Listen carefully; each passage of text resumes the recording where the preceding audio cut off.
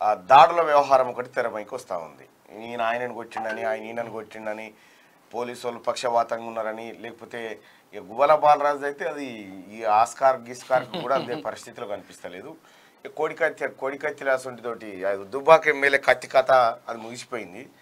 కత్తి కత్తి కత్తిపోటే గీత వస్తుంటే పదిహేను కుట్లు అని చెప్పి హరీష్ రావు వచ్చి పదిహేను కుట్లు పడే అని హరీష్ రావు చెప్తా ఉన్నాడు. డాక్టర్లు నలభై ఎనిమిది గంటల అయితే గడిస్తే కానీ చెప్పలేమనేది ఒక యశోద హాస్పిటల్లో ఆ డ్రామా. ఇక మళ్ళీ గువ్వల బాలరాజు ఓ పంచాది. ఆడ అలంపూర్ కాడ ఓ పంచాది. ఇక ఏడ చూడో పంచాది. ప్రతి ఎలక్షన్స్కి ఇప్పుడు పీకే ఏం చేస్తారంటే ఒకసారేమో అప్పుడు మమతా బెనర్జీకి ఏమో కాలు కట్టు కట్టిండు. తర్వాత ఒకరికి ఈరకేమో చేతికి కట్టు కట్టిండు. అక్కడనేమో కోడి కత్తి పెట్టిండు. అంటే ఇట్లా పీకే స్ట్రాటజీ అట్లా ఉంటుంది అన్నట్టు అంటే మొత్తం మీద దాడులు చేయించుకుంటే సానుభూతి వస్తుంది అనేది ఆయన పీకే ఉన్నాడా? ఇప్పుడు లేడు కదా. పీకే లేడు కానీ పీకే ఇచ్చిపోయిండు అప్పుడు. మరి అప్పుడు ఏమైనా సలహాలు ఇస్తే అవి ఏమైనా ఉన్నాయో కానీ పీకేనైతే ఇప్పుడు కేసీఆర్ అంటే లేడు ప్రశాంత్ కిషోర్ పీకే అంటే ఎవరో కాదు ప్రశాంత్ కిషోర్. అయితే ఈ కొన్ని నాటకాలతోటి అప్పుడు జరిగినాయి. సరే జగన్ క- కోడి కత్తి కాడి నుంచి మొదలు పెడితే చాలా రకరకాలుగా జరిగినాయి. కాకపోతే వీటిని ఇప్పుడు ఆ వీటిని ఎవరు నమ్మే పరిస్థితి. లేడు. అయ్యో అంటే ఇప్పుడు గువ్వల బాలరాజు మీద దాడి జరిగిందంటే ఓ సోషల్ మీడియాలో నేను చూసిన అయ్యో ఇంకా అన్న నుండి రాయా అంటారు జనం. కదా అన్న నుండి రా ఐదేళ్ళు పదేళ్ళు పోయి ఈయననే కదా తన్నింది జనాన్ని అంటారు అంటే అయ్యో అనేటోడు లేడన్నట్టు. మీరు ఎంత రాశి రంపాన చేసి ఎన్ని డ్రామాలు ఆడినా కేసీఆర్ ఆఖరికి సానుభూతి కోసం దెబ్బలు కొట్టించుకునే కాడికి వచ్చిర్రంటే ఇక మీ పరిస్థితి ఏడుకొచ్చిందో చూడ్రి. తెలంగాణ రాష్ట్రంలో కాంగ్రెస్ పార్టీ గెలుపును ఇప్పుడు ఎవడు ఆపలేడు? ఎవడు ఆపలేడు? కాంగ్రెస్ పార్టీ గెలవాలి. కాంగ్రెస్ పార్టీ గెలుస్తుంది. ఇక్కడ చేయి గుర్తుదే హవా చేయి గుర్తే రేపు పొద్దుగాల అధికారంలోకి వచ్చేది. క్లియర్ పబ్లిక్ డిసైడ్ అయిపోయింది. సోనియా గాంధీ ఆ తల్లి సోనియా గాంధీ రాహుల్ గాంధీ ఇక్కడ జెండా ఎగరేయబోతా ఉన్నారు. ఇదే క్లియర్ మార్నింగ్ న్యూస్లోకి వెళ్ళకంటే ముందు ఎర్రబల్ దయాకర్ రావు ఏమంటుండ ఒకసారి చూద్దాం ఇక ఈ కోచింగ్ ఇచ్చి స్కిల్స్ చేసి ఉద్యోగాలు ఏర్పాటు చేస్తారు. అది వర్ధనపేట ఎమ్మెల్యే ఉన్నప్పుడు ఆడ ఊరూరుకు ఉద్యోగాలు ఇప్పించిన. ఇక్కడ కూడా ఇప్పించిన కానీ జనరల్కి ఇప్పించిన. ఇప్పుడు జనరల్కి ఇప్పియ కార్యకర్తల బిడ్డలకు కార్యకర్తలకి ఇప్పిస్తా. రెండవది అమ్మా అమ్మా. రెండవది నా కోటేషన్ వాళ్ళకి కోటేషన్ వాళ్ళకి నా కోటేషన్ వాళ్ళంటే ఈ ఇక్కడికి వస్తారు అనుకోతాం అది లెక్క అదే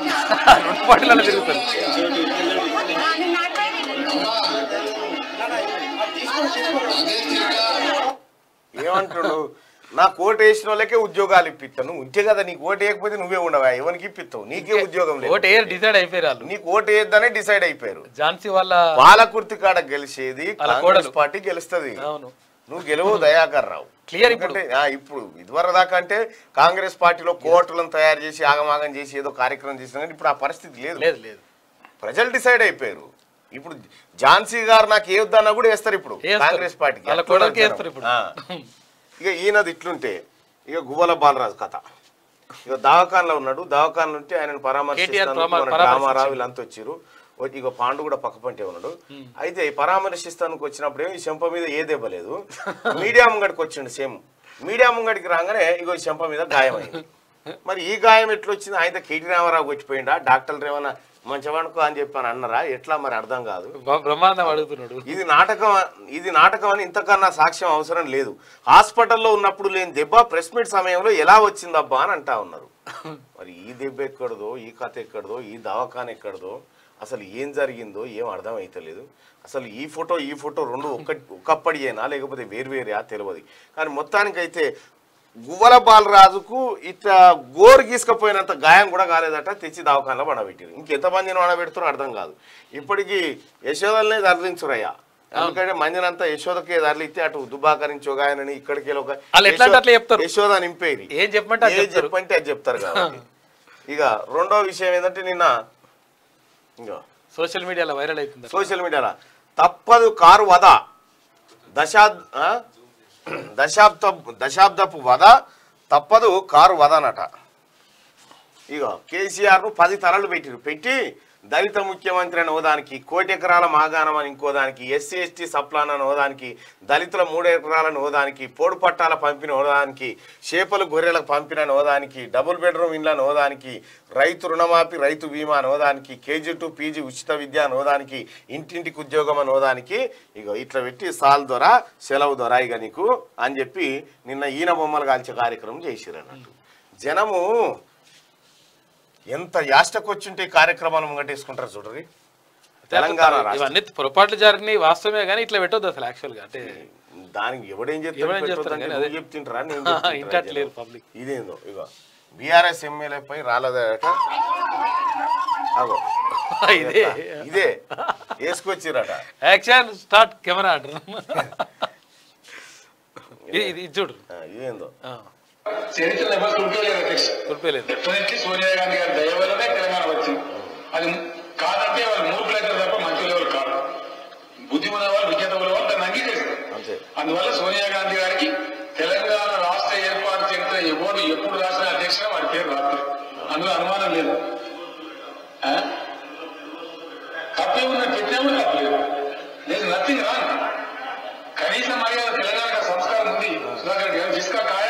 ఉస్కా కాయా ఆయన. గాంధీ గురించి కేసీఆర్ చెప్తా ఉన్నాడు. ఎంత సక్కని తల్లి ఆ తల్లి ఆయన ఇచ్చింది. నామినేషన్ వేస్తుంది పోతే కామారెడ్డిలో ఇట్లా. ఈయనేమైంది? ఈయన పట్టుకురామనగా? చెప్పిన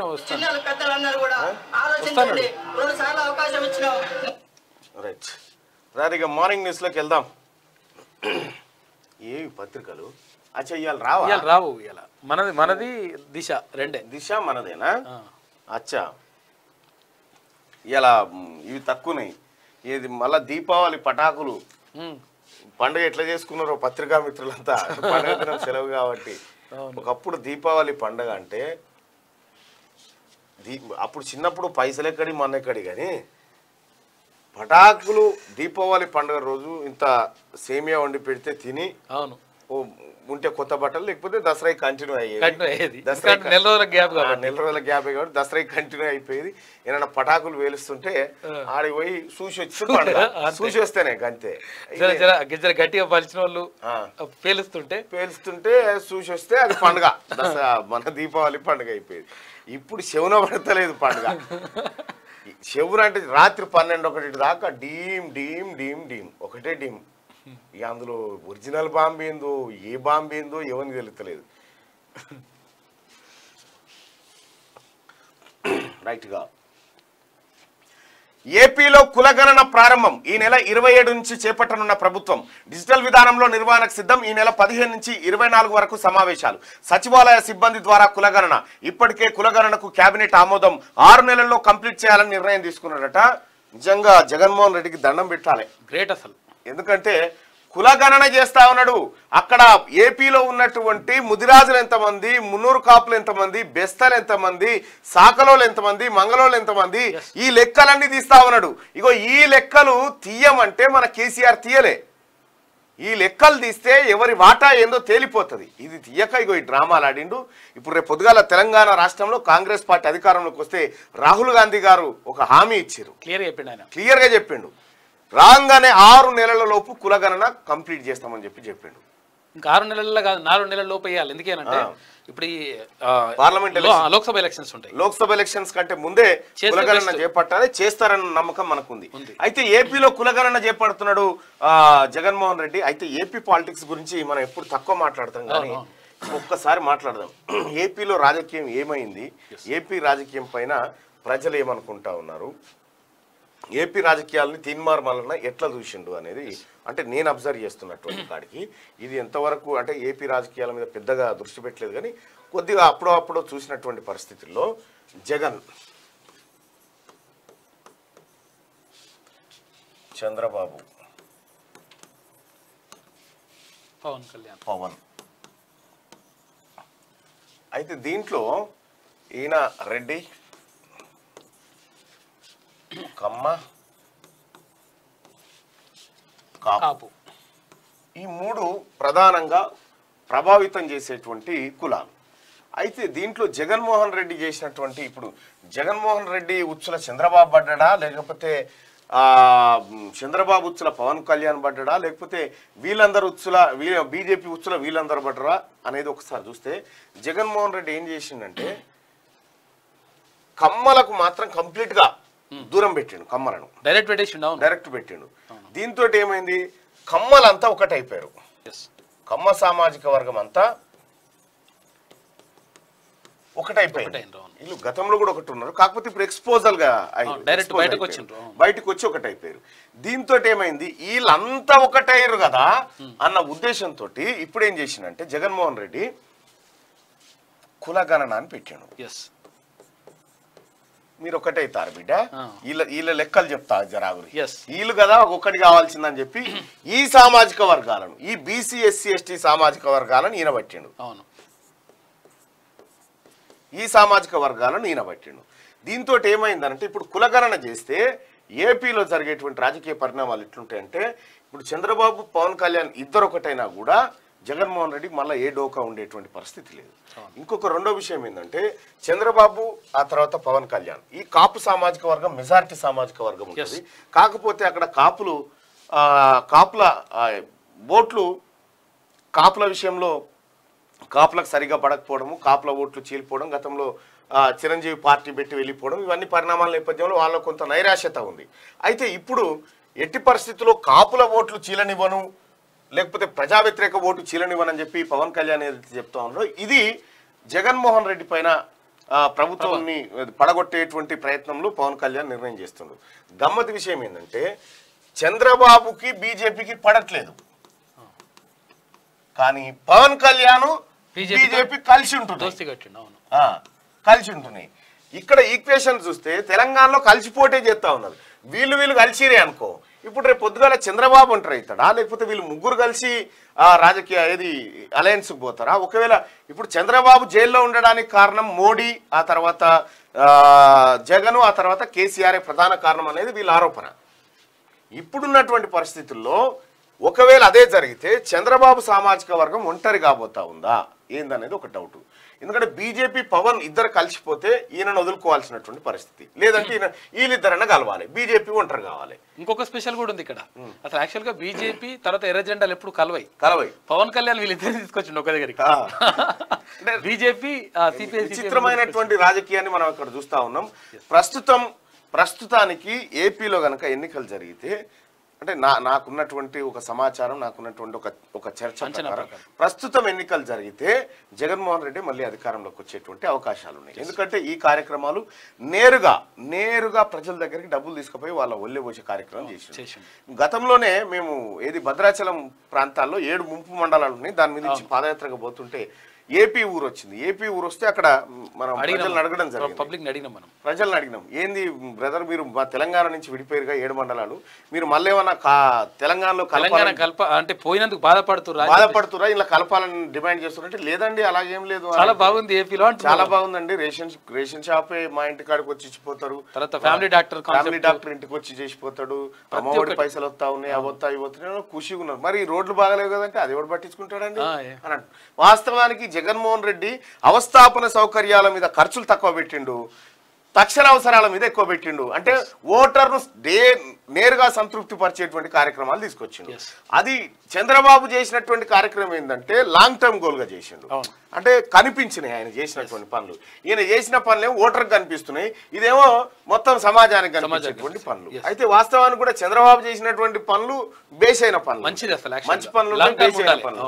కాకపోతే ఏంటంటే వీడికి వచ్చేసరికి ఏమైందంటే ఇప్పుడు దీన్ని తట్టుకునేటువంటి పరిస్థితిలో ఈ ఈ కార్యక్రమాలు లేవు. లేవు.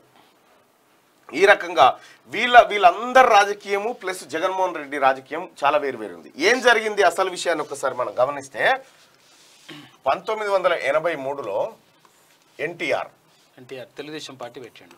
ఎన్టీఆర్ టీడీపీ పార్టీ పెట్టిండు. టీడీపీ పార్టీ పెట్టినటువంటి ఎన్టీఆర్ ఏం చేసిందంటే ఈ తెలంగాణ రాష్ట్రంలో రాయలసీమ ప్రాంతంలో రెడ్ల ఆధిపత్యం ఉండేది. ఎక్కడ చూసినా రెడ్లు రెడ్లు రెడ్లు రెడ్లు రెడ్లు రెడ్లు. అఫ్ కోర్స్ ఇప్పటికి కూడా కొనసాగుతుంది తెలంగాణ ప్రాంతంలో. అయితే ఎన్టీ రామారావు వచ్చి ఏం చేసినంటే బీసీలను పట్టిండు. బీసీలను బట్టి బీసీ నాయ బీసీల బీసీలకు టికెట్లు ఇచ్చుడు పెట్టిండు. మెల్లగా ఎమ్మెల్యే టికెట్లు దేవేందర్ గౌడ్ ఇటువంటి వాళ్ళందరూ చాలా మందిని తయారు. అప్పుడు ఏం చేశారు? తెలుగుదేశం పార్టీ వైపు బీసీలు మొగ్గు చూపారు. బీసీలు మొగ్గు చూసేసరికి ఇక కాంగ్రెస్ను ఈజీగా ఓడించుకుంటూ వచ్చిండు. తొమ్మిది నెలల్లోనే గవర్నమెంట్ ఏర్పాటు చేసి ఏర్పాటు చేసింది. ఎవరు ఎన్టీ రామారావు. అయితే ఏమైంది మెల్లగా? తెలుగుదేశం పార్టీ ఉన్నప్పుడు బీసీలకు ఎక్కువ అవకాశాలు ఉండేవి. ఎక్కువ అవకాశాలు. అంటే బీసీల మీద ప్రేమ అని కాదు రెడ్డిలను కొట్టాలంటే బీసీ సామాజిక వర్గాన్ని. దగ్గరికి తీయాలనేది టీడీపీ స్ట్రాటజీ. తోటి ఆ రోజు చేసింది వాస్తవానికి కూడా అప్పుడు రెండు రూపాయలకే కిలో బియ్యం లాంటి పథకాలు చంద్ర ఏది ఎన్టీ రామారావు పెట్టినటువంటి పథకాలు చాలా అద్భుతం. ఎవరెవరినో ముక్కు ముఖం తెలియని వాళ్ళని పెట్టి ఎమ్మెల్యేలను చేసిండు ఎన్టీ రామారావు. అయితే అప్పుడు బీసీలు సరే ఆ నాయకత్వాన్ని పుణికిపుచ్చుకొని కొంత కొంతమంది నాయకులు పైకి వచ్చారు మిగతా సామాజిక వర్గాలు రాలేకపోయినాయి అది వేరే అంశం. కానీ సేమ్ ఇప్పుడు టీడీపీ కనుక ఎనభై మూడులో ఎట్లయితే బీసీలను పట్టుకుందో జగన్మోహన్ రెడ్డి కూడా ఇప్పుడు బీసీలను పట్టుకున్నాడు. కులగణన చేస్తే జగన్మోహన్ రెడ్డి వెంట ప్రభంజనమే తిరుగుతుంది చూడు. అంతే. కులగణన అనేది చాలా ఇంపార్టెంట్. అది చేయనన్ని రోజులు ఆ ప్రజల్ని మభ్యపెడుతూ వచ్చిన రోజులు జరిగేటువంటి పరిస్థితి ఇది. ఇదే ఈ నెల ఇరవై ఏడు నుంచి చేపట్టనున్న ప్రభుత్వం డిజిటల్ విధానంలో నిర్వహణకు సిద్ధం. ఈ నెల పదిహేను నుంచి ఇరవై నాలుగు వరకు సమావేశాలు. సచివాలయ సిబ్బంది ద్వారా కులగణన ఇప్పటికే కులగణనకు కేబినెట్ ఆమోదం ఆరు నెలల్లో కంప్లీట్ చేయాలని నిర్ణయం అంటూ ఇది గొప్ప విషయం చాలా గొప్ప. నిర్ణయం అది. ప్రచారంలో దూసుకుపోతున్న బీసీ నేతలు ప్రజల నుంచి అనూహ్య స్పందన ఏకమవుతున్న బీసీ ప్రజానికం పార్టీలకు సంబంధం లేకుండా బీసీ నేతలను గెలిపించుకోవాలని నిర్ణయం. బీసీల ఓట్లు బీసీ లీడర్లకే మధు యాస్కి పొన్నం అంజన్ కొండా సురేఖ బండి బీర్లా అరవింద్ వీళ్ళకైతే బ్రహ్మరథం పడతా ఉన్నారు. ప్రజలైతే ఈసారి బీసీల్లో చైతన్యం కనబడుతున్నది మా ఓట్లు మాకే అంటున్నారు. పార్టీలకు అతీతంగా బీసీ నేతలను గెలిపించుకోవాలని నిర్ణయించుకున్నారు. ఆ ప్రభావం ఎన్నికల ప్రచారంలో కొట్టొచ్చినట్టు కనబడుతుంది. బీసీ నేతలు ఎక్కడికి వెళ్ళినా బ్రహ్మరథం పడుతున్నారు. ఈ నేపథ్యంలో బీసీ నేతలు ఎన్నికల ప్రచారంలో రెట్టించిన ఉత్సాహంతో దూసుకుపోతున్నారు. మాజీ ఎంపీ మధు యాష్కి గౌడ్ ఎల్బీ నగర్ నుంచి బరిలోకి దిగిన సంగతి తెలిసిందే. అక్కడ ఆయన సిట్టింగ్ ఎమ్మెల్యే సుధీర్ రెడ్డికి సవాల్ విసురుతున్నారు. గత ఎన్నికల్లో కాంగ్రెస్ పార్టీ నుంచి గెలిచిన సుధీర్ రెడ్డి ఆ తర్వాత కార్యక్రమ సంగతి తెలిసిందే. సుధీర్ రెడ్డి అవినీతి అక్రమాలతో విసిగిపోయిన ఎల్బీ నగర్ ప్రజలు మధు యాష్కి గౌడ్ గెలుపు కోరుకుంటున్నారు. మరోవైపు బీసీలు మూకుమ్మడిగా మధు యాష్కి మద్దతు పలుకుతున్నారు. దీంతో కాంగ్రెస్ గ్యారంటీగా గెలిచేటువంటి పరిస్థితి. ఏ పార్టీలో ఉన్నా. వీళ్ళు బీజేపీలో ఉన్నటువంటి సంజయ్ గానీ లేకపోతే కాంగ్రెస్లో ఉన్నటువంటి కొండా సురేఖ గానీ లేకపోతే మధు యాష్కి గౌడ్ గానీ నీలమ్మద్ గానీ లేకపోతే వీళ్ళంతా ఈ బీసీ నాయకత్వాన్ని ప్రజలు ఎంకరేజ్ చేస్తా ఉన్నారు. బీసీల వాయిస్ వినిపించుతారు. వీళ్ళు మా వాయిస్ వినిపిస్తారు అనేటువంటి ఒక ఆలోచన ఉంది. కాబట్టి బీసీ నేతలు ఒక రకమైనటువంటి చైతన్యం వాళ్ళలో కలిగింది. మా వాడు అనేటువంటి ఒక భావనకు వచ్చారు ఎందుకంటే టికెట్ల పంపిణీ దగ్గరనో ఇంకో దగ్గరనో అంతో దగ్గరనో బీసీలను ఎంత అరాచకం చేసారో మీ అందరికి తెలిసిందే. కాబట్టి బీసీలో సరికొత్త ఆలోచన తెలంగాణ రాష్ట్రంలో కనబడుతుంది. వియన్నా ఒప్పందాన్ని ఉల్లంఘించిన భారత్ నిజ్జర్ హత్య కేసులో భారత దౌత్యవేత్తల ప్రమేయం కెనడా ప్రధాని ట్రూడో మూడోసారి మరోసారి వివాదాస్పద వ్యాఖ్యలు. కెనడా ప్రధాని జస్టిస్ ట్రూడో జస్టిన్ ట్రూడో భారత్పై మరోసారి వివాదాస్పద వ్యాఖ్యలు చేశారు. గతంలో జరిగిన ఖలిస్తానీ ఉగ్రవాది హర్దీప్ సింగ్ నిజ్జర్ హత్య కేసులో భారత్పై విరుచుకుపడ్డారు. వియన్నా ఒప్పందాన్ని ఇండియా ఉల్లంఘించిందని పెద్ద దేశాల చట్టాలను ఉల్లంఘిస్తే ప్రపంచానికి ప్రమాదమని తెలిపారు. ఖలిస్తానీ ఉగ్రవాది నిజ్జర్ హత్య కేసులో ఇదే తరహాలో వ్యవహరించి ఇతర దేశాల సార్వభౌమత్వాన్ని దెబ్బతీయ దెబ్బతీసిందంటూ ట్రూడో ఆరోపించిండు. కలిస్తాని పంచాయతీ. ఖలిస్తానీ పంచదాడ రెట్టిగా అచ్చంపేటలో హైడ్రామా గువ్వల అనుచరుల వాహనాల్లో డబ్బుల బ్యాగులు. సమాచారం ఇచ్చినా స్పందించని అధికారులు కాంగ్రెస్ పార్టీ నాయకులు అడ్డుకునే యత్నం. హస్తం నేతలపై బాలరాజ్ అనుచరుల దాడి. తనపైనే దాడి జరిగిందంటూ నయా డ్రామా. ఓటమిని తప్పించుకునేందుకు కొత్త ఎత్తుగడేసిండట. డబ్బు సంచులు డబ్బు సంచులు తరలిస్తున్నారని బీఆర్ఎస్ వాహనాలను అడ్డుకున్న కాంగ్రెస్ శ్రేణులపై తన అనుచరులతో దాడులు చేయించిన అచ్చంపేట ఎమ్మెల్యే గువ్వల బాలరాజ్ తనపైనే దాడి జరిగిందని నయా డ్రామాకు తెరదీసిండు. ఇగో అయితే ఆ ఆ బ్యాగులల్లా అయిన కార్లల్లా డబ్బుల సంచులు తీసుకపోతా ఉంటే కాంగ్రెస్ పార్టీ కార్యకర్తలు పోయి దాన్ని అడ్డుకున్నారు అడ్డుకుంటే గువ్వల బాలరాజే కాంగ్రెస్ కార్య- కార్యకర్తల పైన దాడి దాడి చేసి. ఆ వ్యవహారం బయటకు రా ఎట్లుందంటే పోయి విరోచితంగా పోరాటం చేసి వచ్చినోడు దవాఖానలో పడినట్టు ఉంది కథ? చేసిందే ఇప్పుడు దొంగకు ట్రీట్మెంట్ ఇచ్చినట్టు లేదా ఆ వ్యవహారం? ఆయననే దాడులు చేయించుడు. ఆయన్నే వాళ్ళ దాడులు చేసి దానికి ఇంకెన్ని ఉంటాయో ఇటువంటి ఆయన మీద దాడి చేసినట్టుగా మళ్ళీ అట్లా. తెలంగాణలో దళితులు ఎటువైపు? మందకృష్ణ మాట మందకృష్ణ మాదిగ మాట వైపు మొగ్గేనా? మోదీ టూర్ తర్వాత ఆసక్తికర చర్చ. దళిత ఓటు బ్యాంకు చీలితే ఎవరికి నష్టం? లెక్కలేసుకుంటున్న రాజకీయ పార్టీలు. నలభై ఆరు లక్షల మందికి పైగా మాదిగ జనాభా. వర్గీకరణ జరిగితే ఉపకులాలకు న్యాయం. అదే జరిగితే బీజేపీకి భారీ హైపు. తెలంగాణ రాజకీయాల్లో కీలక మార్పులు దక్షిణ భారతదేశంలో పుంజుకునేందుకు బీజేపీ ప్లాన్. తీరనున్న మూడు దశాబ్దాల వర్గీకరణ కళ ఇదే జరిగితే అసలు ఏం జరుగుతుంది? ఈ పెద్ద ఒక తేనె తుట్టెలో ఏలు పెట్టిరు ఇప్పుడు. అవును. అది ఆ తేనెటీగలు ఎవరిని గరతాయో తెలియదు తెల్లదు అదే. ఇప్పుడు పెండలు రాయిచ్చి ఆ ఆనికి జిల్లే ఈనికి జిల్లే ఈనికి జిల్లే తెలంగాణ రాజకీయాల్లో కీలక మార్పు చోటు చేసుకోబోతుంది. ప్రధాని మోడీ విశ్వరూప మహాసభ టూర్ తర్వాత తెలంగాణలో ఆసక్తికర చర్చ మొదలైంది. మూడు దశాబ్దాల ఎస్సీ వర్గీకరణ అంశాన్ని తేల్చేందుకు బీజేపీ సిద్ధమైందా? ఇప్పటికే వర్గీకరణకు కేంద్రం అంతర్గతంగా గ్రీన్ సిగ్నల్ ఇచ్చిందా? ఎంఆర్పీఎస్ అధ్యక్షుడు మందకృష్ణ మాదిగా ముప్పై ఏళ్ళుగా చేస్తున్న పోరాటానికి శాశ్వత పరిష్కారం దొరికే పరిస్థితులు కనిపిస్తున్నాయి.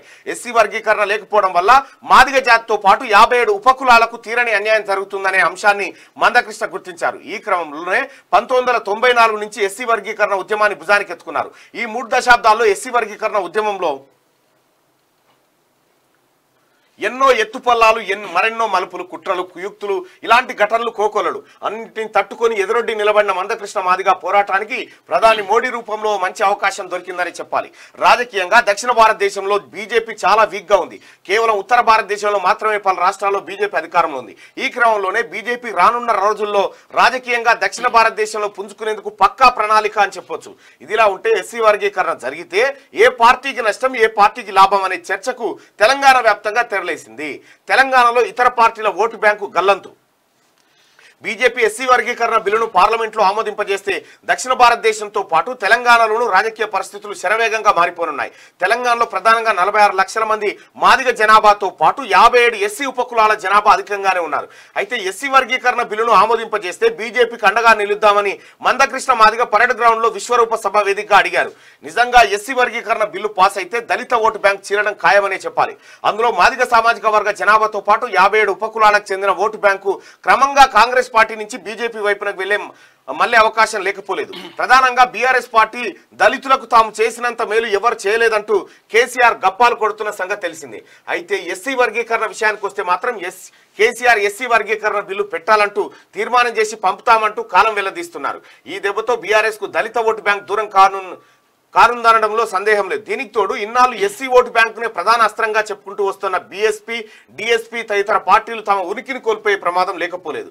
ముప్పై ఏళ్ళు వర్గీకరణ ఉద్యమ ప్రస్థానం ఇది. ఎస్సీలను ఏబి ఏబిసిడి గ్రూపులుగా వర్గీకరించాలనే డిమాండ్తో పంతొమ్మిది వందల తొంభై నాలుగులో ఆంధ్రప్రదేశ్లోని ప్రకాశం జిల్లా ఈదుమూడి గ్రామంలో ఉద్యమం మొదలైంది. వర్గీకరణ ఉద్యమం ఐదారేళ్ళలోనే రాష్ట్రమంతా విస్తరించింది. ఈ ఉద్యమానికి నాయకత్వం వహించిన ఎంఆర్పీఎస్ అధ్యక్షుడు మందకృష్ణ మాదిగా ఇప్పటికీ వర్గీకరణ కోసం పట్టుబడుతున్నారు. రాష్ట్ర విభజనతో పాటు చట్టపరమైన న్యాయపరమైన సాంకేతిక పరమైన అనేక పరిణామాల వల్ల ఈ అంశం ఈనాటికి ఎటూ తేలలేదు.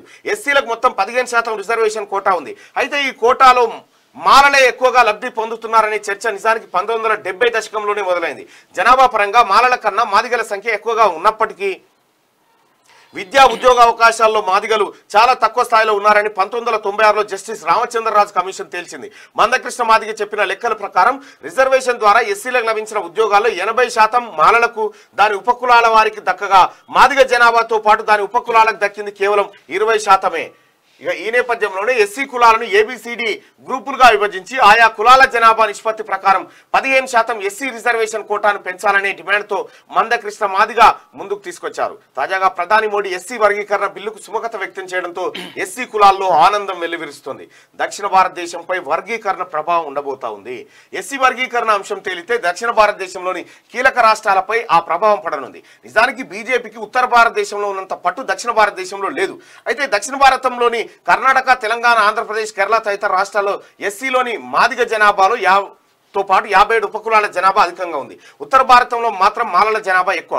అయితే ఎస్సీ వర్గీకరణ చేస్తే దక్షిణ భారతదేశంలో బీజేపీకి భారీ హైప్ రావడంతో పాటు దళిత ఓటు బ్యాంక్ చేరువవుతుంది. ఫలితంగా కాంగ్రెస్ పార్టీకి చెక్ పెట్టాలని బీజేపీ అధిష్టానం భావిస్తున్నట్టుంది. నిజానికి మోడీ ప్రభుత్వం ఇప్పటి వరకు పలు వివాదాస్పద నిర్ణయాలను సాహసోపేతంగా తీసుకుందనడంలో సందేహం లేదు. Article three sixty three seventy కదా three seventy. Article three seventy మహిళా బిల్లు రామ మందిర నిర్మాణంతో పాటు చాలా అంశాలు స్టెప్ వేసింది. ఇదే తరహాలో ఎస్సీ వర్గీకరణ విషయంలోనూ మోడీ ప్రభుత్వం అదే స్ట్రాటజీని అమలు చేసి వర్గీకరణ బిల్లును ఆమోదింపజేస్తే దేశ చరిత్రలో మరో కొత్త అధ్యయనం అవుతుందని సందేహం లేదు. అసలు ఎస్సీ వర్గీకరణ అంశాన్ని బీజేపీ రాజకీయంగానే చూస్తున్నప్పటికీ మందకృష్ణ మాదిగ చేస్తున్న సుదీర్ఘ ఉద్యమానికి న్యాయం చేసినట్టు అవుతుందని చెప్పాలి. అయితే ఇక్కడ ఒక చిన్న విశ్లేషణ మాత్రం చేసుకోవాలి ప్రజలారా. అసలు ఈ అంశాలు ఎందుకు తెర మీదకి వచ్చినాయి అనేది ఒకసారి చూసుకుంటే నితీష్ కుమార్. ఎస్ బీహార్లో. నితీష్ కుమార్ బీహార్ సీఎం ఉన్నాడు కదా.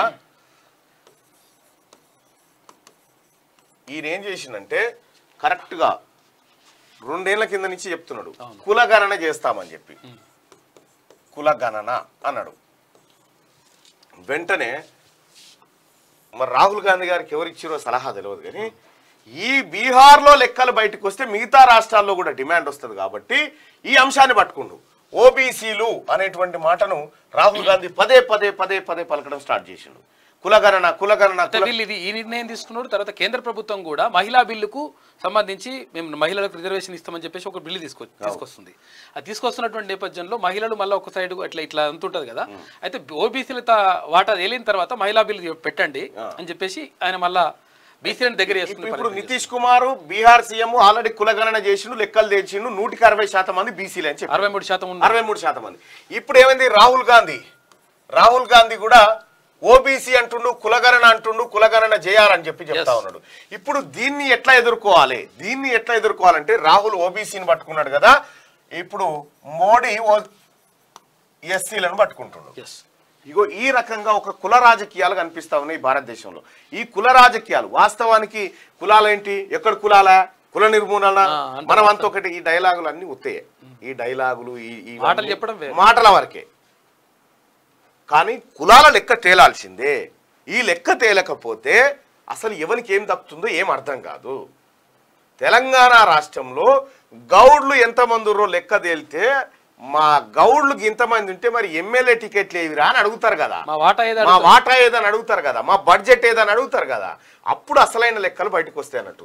అయితే కేసీఆర్ అనేటువంటి వ్యక్తి సమగ్ర కుటుంబ సర్వే అని ఒకటి చేసి ఆ ఏం చేసిన కులగణన చేసి రెడీగా వేల బయటికి తీస్తలేడు బయటికి తీస్తలేడు అది. ఎందుకు తీస్తలేడు? తీస్తే అగో మేమెక్కుంటే నువ్వెట్లా ముఖ్యమంత్రి అవుతావని అంటారు కదా. అందుకోసం తీస్తలేడు. అయితే ఇప్పుడు కులాలు అనేటువంటి అంశాన్ని వీళ్ళు పట్టుకొని వస్తా ఉన్నారు. మీరు చూడండి. ఈ కులాలు అనేటువంటి అంశాల మీద రాబోతున్నటువంటి ఎన్నికలు జరగబోతా ఉన్నాయి. రెండు వేల ఇరవై నాలుగు పార్లమెంట్ ఎన్నికలు ఈ కులాల మీదనే జరగబోతా ఉన్నాయి. ఇది ఇక్కడ చేసిరని ఇది పసిగట్టి రాహుల్ గాంధీ ఓబీసీ కులగణన అనేటువంటి చర్చ. అక్కడ ఈ ఈ ప్రమాదాన్ని గమనించి ఎక్కడెక్కడైతే కులాలకు సంబంధించిన ఇష్యూస్ పెండింగ్ ఉన్నాయో ఆ ఇష్యూస్ పైన మోడీ దిగిండు. సో ఇది జరుగుతా ఉంది దేశవ్యాప్తంగా. నాకు నాకైతే అంటే అనిపిస్తుంది. కులాల మీదనే జరిగేటువంటి అవకాశం కనిపిస్తుంది. ఇక పెద్దపల్లి రాజన్న. ఇంకా ఉన్నాయి వార్తలు ఇంకా? అచ్చా.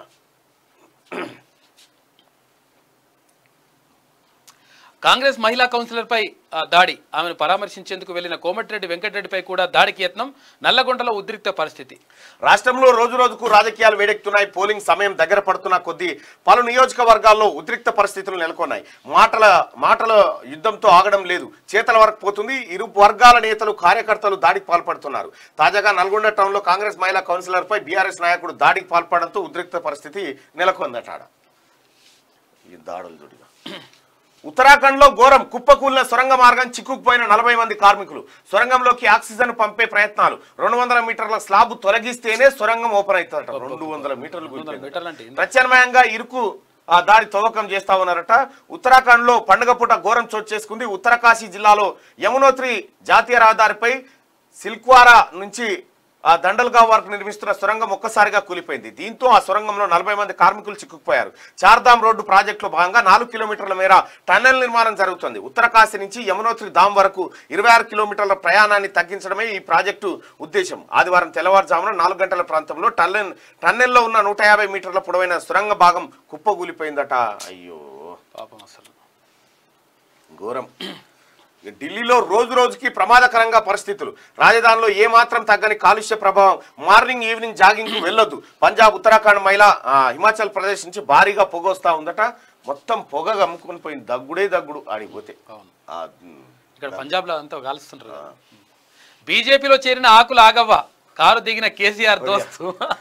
బీజేపీలో చేరిన ఆకులాగవా కారు దిగిన కేసీఆర్ దోస్తు. కేసీఆర్ దత్తత గ్రామం వాసాలమరిలో బీఆర్ఎస్ ఖాళీ. ఆలేరు బీజేపీ ఎమ్మెల్యే అభ్యర్థి పడాల శ్రీనివాస్ ఆధ్వర్యంలో బీజేపీలో చేరికలట. ఆగు. ఆకులాగవా కూడా బీజేపీ పార్టీ మారింది. నా దోస్తు అన్నాడు కేసీఆర్. నా దోస్తు అలనేరడు వండించింది. అలా నేరని పండించింది నాకు. అదే. నా దోస్తు తినొద్దా నేను?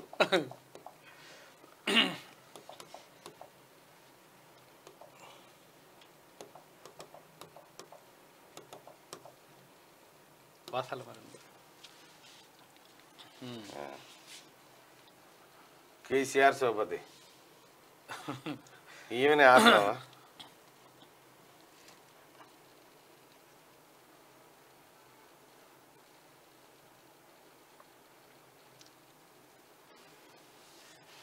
పైన బెస్ట్ చూస్తున్నా. ఈ రెండిట్లో ఇది. ఇక ఏమైనా ఆకులాగవా? యాదుంచుకోండి. ఈడన్న నిల్చొని రుణమాఫీ చేస్తానంటివి. ఉచిత ఎరువులు అన్నావు. మా ధాన్యాన్ని నువ్వే కొంటాను యాదుందా? పదేండ్ల అహంకారం పోవాలి. పదేండ్ల అవినీతిని తరమాలి. సీఎం సార్ని కలుసుడు అందరితో సీఎం సారు. మీ మర్యాదలు మీ నాకు బాగా దోస్తైందేమో. మాట ఇంకా ఏమైందో తెలుసుకోవాలంటే ఫస్ట్ కంచి రావాల్సిందే. నాకు బాగా దోస్తైందేమో ఆటలు ఆగవా? ఎందుకు నవ్వుతున్నా దోస్తు పెట్టద్దా ఆమె ఆ. నేను పక్క పూస పెట్టుకుని అన్నం తిన్నా ఆఖరికి నాకు రెండు పండ్లు పెట్టింది తినమని ఆమె కూడా ఇచ్చిన ఆగమ్మ అలనేరేడు పండ్లు ఇంత కాకపై ఎవరో యాదుకుందా? సీఎం సార్ దత్తత తీసుకున్న వాసాల మరి పెద్దవ్వ. ఏడాదిన్నర కిందట ఊరోళ్ళకి దావత్ ఇచ్చినాడు. అవన్ పక్క కూకుండా పెట్టుకొని తిన్నాడు. స్టేజ్ మీద పక్కకే సీట్ వేసిండు. ముఖ్యమంత్రి సారే కాయిషవాడి దోసానే చేసిందంటే అవన్ నసివే మారొచ్చు. ఏది ఇలా పోయి మందలిద్దాము. ఓ ఆగవ్వా ఆగాగు అయ్యో సీఎం సార్ దోస్తు గీంట్లుంటున్నా ఓ ఇట్రా ఇట్రా జర. తాతను కూడా విలువ చిన్నగా రాయే పెద్ద మనిషి. ఇక ఈడ ఊకోవాలి ఇక అమ్మా బాగున్నావా? ఆ బాగున్నా సారు. ఏమి కేసీఆర్ వచ్చి సంవత్సరంన్నర అయింది ఇక్కడికి వచ్చి అంటే ఇండ్లు కట్టిస్తా ఊరు అభివృద్ధి చేస్తా అన్నాడు. ఎట్లుంది ఇప్పుడు? ఇప్పుడు ఇండ్లు లేవు ఏమి లేవు. మాకైతే సాగు మారిన ముందు వాన కొడితే ఒకరికి రెండు మాట్లాడటానికి వచ్చి పట్నంలో కాడక తిని బతుండు. ఇక ఒక్క కొడుకు గాడ తోటల జీతం ఉన్నాడు. ఇక మేము ఇద్దరం పచ్చలోళ్ళు ఉన్నాం వాన కొడితే నానుతున్నాం ఎండ కొడితే ఎండుతున్నాం. ఇల్లు కట్టిస్తున్నారా? ఎట్లుంది ఇల్లు కట్టిస్తామ్మా నీకు. అన్నాడు. మీరు సీఎం తోటి అన్నం తిన్నారు మంచిగా ఊర్లో అందరూ కూడా పిలుస్తారు కదా. ఎట్లుంది ఇప్పుడు మళ్ళీ ఆ తర్వాత మిమ్మల్ని ఊరోళ్ళు ఏమంటారు? ఊరోళ్ళు ఓ ఆకలాగమ్మ ఓ ఆకలాగమ్మ పైసలు ఇచ్చిండు పైసలు ఇచ్చిండు పైసలు ఇచ్చిండు మరి ఇచ్చిండా? నాకు నయా పైసా బిల్లు ఇస్తే అంత పాపం కూలి కూడా పిలుస్తలేదు. పైసలు ఇచ్చిండు మస్తు ఉన్నాయి తింటానా? పది లక్షలు ఇచ్చాడు? ఆ చ- ఆ పైసలతో తింటుందో అని లోకం ఆడుకుంటారు కానీ ఒకప్పుడు పైసలు కదే అయ్యేది వెళ్తుంది మనకి. పెద్ద మనిషి అని అందరు దొరకపోదురు ఏ ఆగమ్మ పైసలు మస్తు ఉన్నాయి అని పెళ్ళిళ్ళకి కూడా తీసుకుపోతలేదు. CM sir. చూసిరా? ఆగవ పరిస్థితి గీడికి. ఆగవ ఆగం అయిపోయింది. ఈ ఇంట్లో పీనిగల ఉన్నా తండ్రిగా ఈయన బదనాం అయితే ఆఖరికి పోయి బీజేపీలో చేరింది. కాక దోస్తు. బీజేపీలో చేరిన ఆకులు ఆగవ కారు దిగిన కేసీఆర్ దోస్తు. కేసీఆర్ దత్తత గ్రామం వాసాల మరి. ఒక్క దత్తత గ్రామం ఎన్ని తీసుకుంది. దత్తత గ్రామాలు? ఈ మునుగోడు కాడైతే నేను నేను దత్తత తీసుకుంటున్నా అని చెప్పారు తెలంగాణనే దత్తత ఇవన్నీ తీర్చిపోయి దత్తత గ్రామం అనగానే ఏదో అదనంగా ఏదో యాడ్ అవుతుంది అన్న ఏముండదు. ఏదో వస్తుంది బ్రహ్మాండమే ఏం రాదు ఎట్లే అన్ను. కేసీఆర్ పరిపాలన ఏమో దగా పడ్డ దత్తత. అంతే. ఎన్నిసార్లు వార్తలు రాస్తే మనం కూడా. కానీ అయ్యం ఆగవ జల్దినం మేల్కొన్నది. అవును. వాసాల మరి ఖాళీ అయిందట్టుగా బీజేపీలో చేరినట్టు అంతా. బంగారు వాసాల మరి బీ వాసాల మరి. ఈ పోరాటాల తెలంగాణలో ప్రజలు ఎప్పుడో మేలుకున్నారు. రాజకీయ నాయకులకు ఊడిగం చేసే కార్యకర్తలే ఇంకా మేలుకోలేదు. అవినీతి నాయకులకు అండగా ఉంటూ భుజాలపై పార్టీ జెండాలు మోస్తూ దొంగ నాయకులకు జిందాబాదులు కొడుతున్నారు. అమరుల త్యాగాలను విస్మరించి నిరుద్యోగుల మరణాలను లెక్క చేయకుండా రైతన్నల శవాలపై నడుచుకుంటూ పార్టీ గెలుపు కోసం ఆహర్నిశలు కష్టపడుతున్నారు. బీద బిక్కిని పట్టించుకోకుండా కూలినాలు చేసుకునే అభాగ్యుల గోసలు వినకుండా ఆడపిల్లల చావుల కారకులైన నాయకులతో ప్రజలను రాసి రంపాన పెడుతున్న రాక్షసులతో మళ్ళోసారి రాష్ట్రాన్ని దోచుకోమని దొంగలతో చేతులు కలుపుతున్నారు. అభివృద్ధికి నోచుకొని తెలంగాణలో అప్పుల రాష్ట్రంగా మార్చిన దొరల పరిపాలనలో కార్యకర్తల నాయకులకు కుడిభుజాల ఈ పాపంలో పాలు పంచుకుంటున్నారని చెప్పి పెద్దపల్లి రాజన్న ఆవేదన. పండగ పూట విషాదం చెరువులో దూకి తల్లి కూతురు ఆత్మహత్యనంట. ఈ వార్త విని గుండెపోటుతో అత్త మృతి హన్మకొండ జిల్లా కాజిపేటలో నలుగురా? ముగ్గురు. ఏపీలో కులగణన ప్రారంభం అయిపోయిందయ్యా ఇక బీజేపీలో చేరిన ఆకులాగవ. సీఎం కేసీఆర్ దత్తత గ్రామం వాసాల మరిలో కారు ఖాళీ అయింది. సీఎం చేసిన మోసానికి గ్రామస్తులు బీఆర్ఎస్ గుడ్ బై చెప్పి కాంగ్రెస్ బీఆర్ఎస్లో కాంగ్రెస్ బీజేపీలో చేరుతున్నారు. ఆఖరికి సీఎం కేసీఆర్ దోస్తు ఆకులాగవ కూడా పార్టీ మారారు. ఆదివారం బీజేపీ ఎమ్మెల్యే అభ్యర్థి పడాల శ్రీనివాస్ ఆధ్వర్యంలో బీజేపీలో గ్రామస్తులు కమల తీర్థం పుచ్చుకున్నారు. ఆకులాగవతో పాటు గ్రామ ఉప సర్పంచ్ మధు తదితరులు బీజేపీలో చేరారు. ఈ సందర్భంగా శ్రీనివాస్ మాట్లాడుతూ వాసలమరి గ్రామాన్ని దత్తత తీసుకున్న నాటి నుండి నేటి వరకు ఒక్క ఇల్లు కూడా కట్టియకుండా గ్రామస్తులను ఆగం చేశాడని మండిపడ్డారు. తమ ఫామ్ హౌస్కు వెళ్ళేందుకు దారి వేయడం కోసం వాసలమారి గ్రామాన్ని ఆగం చేశారని ఫైర్ అయ్యారు. తెలంగాణ రాష్ట్రంలో రాబోయేది బీజేపీ ప్రభుత్వమేనని కమలం పువ్వునకు ఓటేసి ఆలేరు బీజేపీ అభ్యర్థిగా తనని భారీ భారీ మెజార్టీతో గెలిపించాలని కోరారు. ఈ కార్యక్రమంలో మండల పార్టీ అధ్యక్షులు లక్ష్మీనారాయణ తదితరులు పాల్గొన్నారట అక్కడ. ఇక ఢిల్లీలో రోజు రోజుకి ప్రమాదకరంగా పరిస్థితులు. రాజధానిలో ఏమాత్రం తగ్గని కాలుష్య ప్రభావం మార్నింగ్ ఈవినింగ్ వాకింగ్ జాగింగ్కి వెళ్ళొద్దంట. ఇక నల్గొండ జిల్లా వార్తలు చూస్తే గులాబీ తీర్థం పుచ్చుకున్న పాల్వాయి స్రవంతి కేటీఆర్ సమక్షంలో బీఆర్ఎస్లో చేరిక. మొదటి నుంచి కాంగ్రెస్ పార్టీకి వీర విధేయులుగా ఉన్న కుటుంబం పాల్వాయి గోవర్ధన్ రెడ్డిది. అలాంటి కుటుంబం నుండి ఆయన రాజకీయ వారసురాలుగా రాజకీయాల్లోకి వచ్చిన గోవర్ధన్ రెడ్డి కుమార్తె పాల్వాయి స్రవంతి ఆదివారం కాంగ్రెస్ పార్టీని వీడి కేటీఆర్ సమక్షంలో బీఆర్ఎస్లో చేరారు. ఈ గాడ ఒక ఆయన వచ్చింది రేపు. ఆయన పిలుచుకురా ఆయన పంపించరా ఫోటో? రమ్మని ఆయన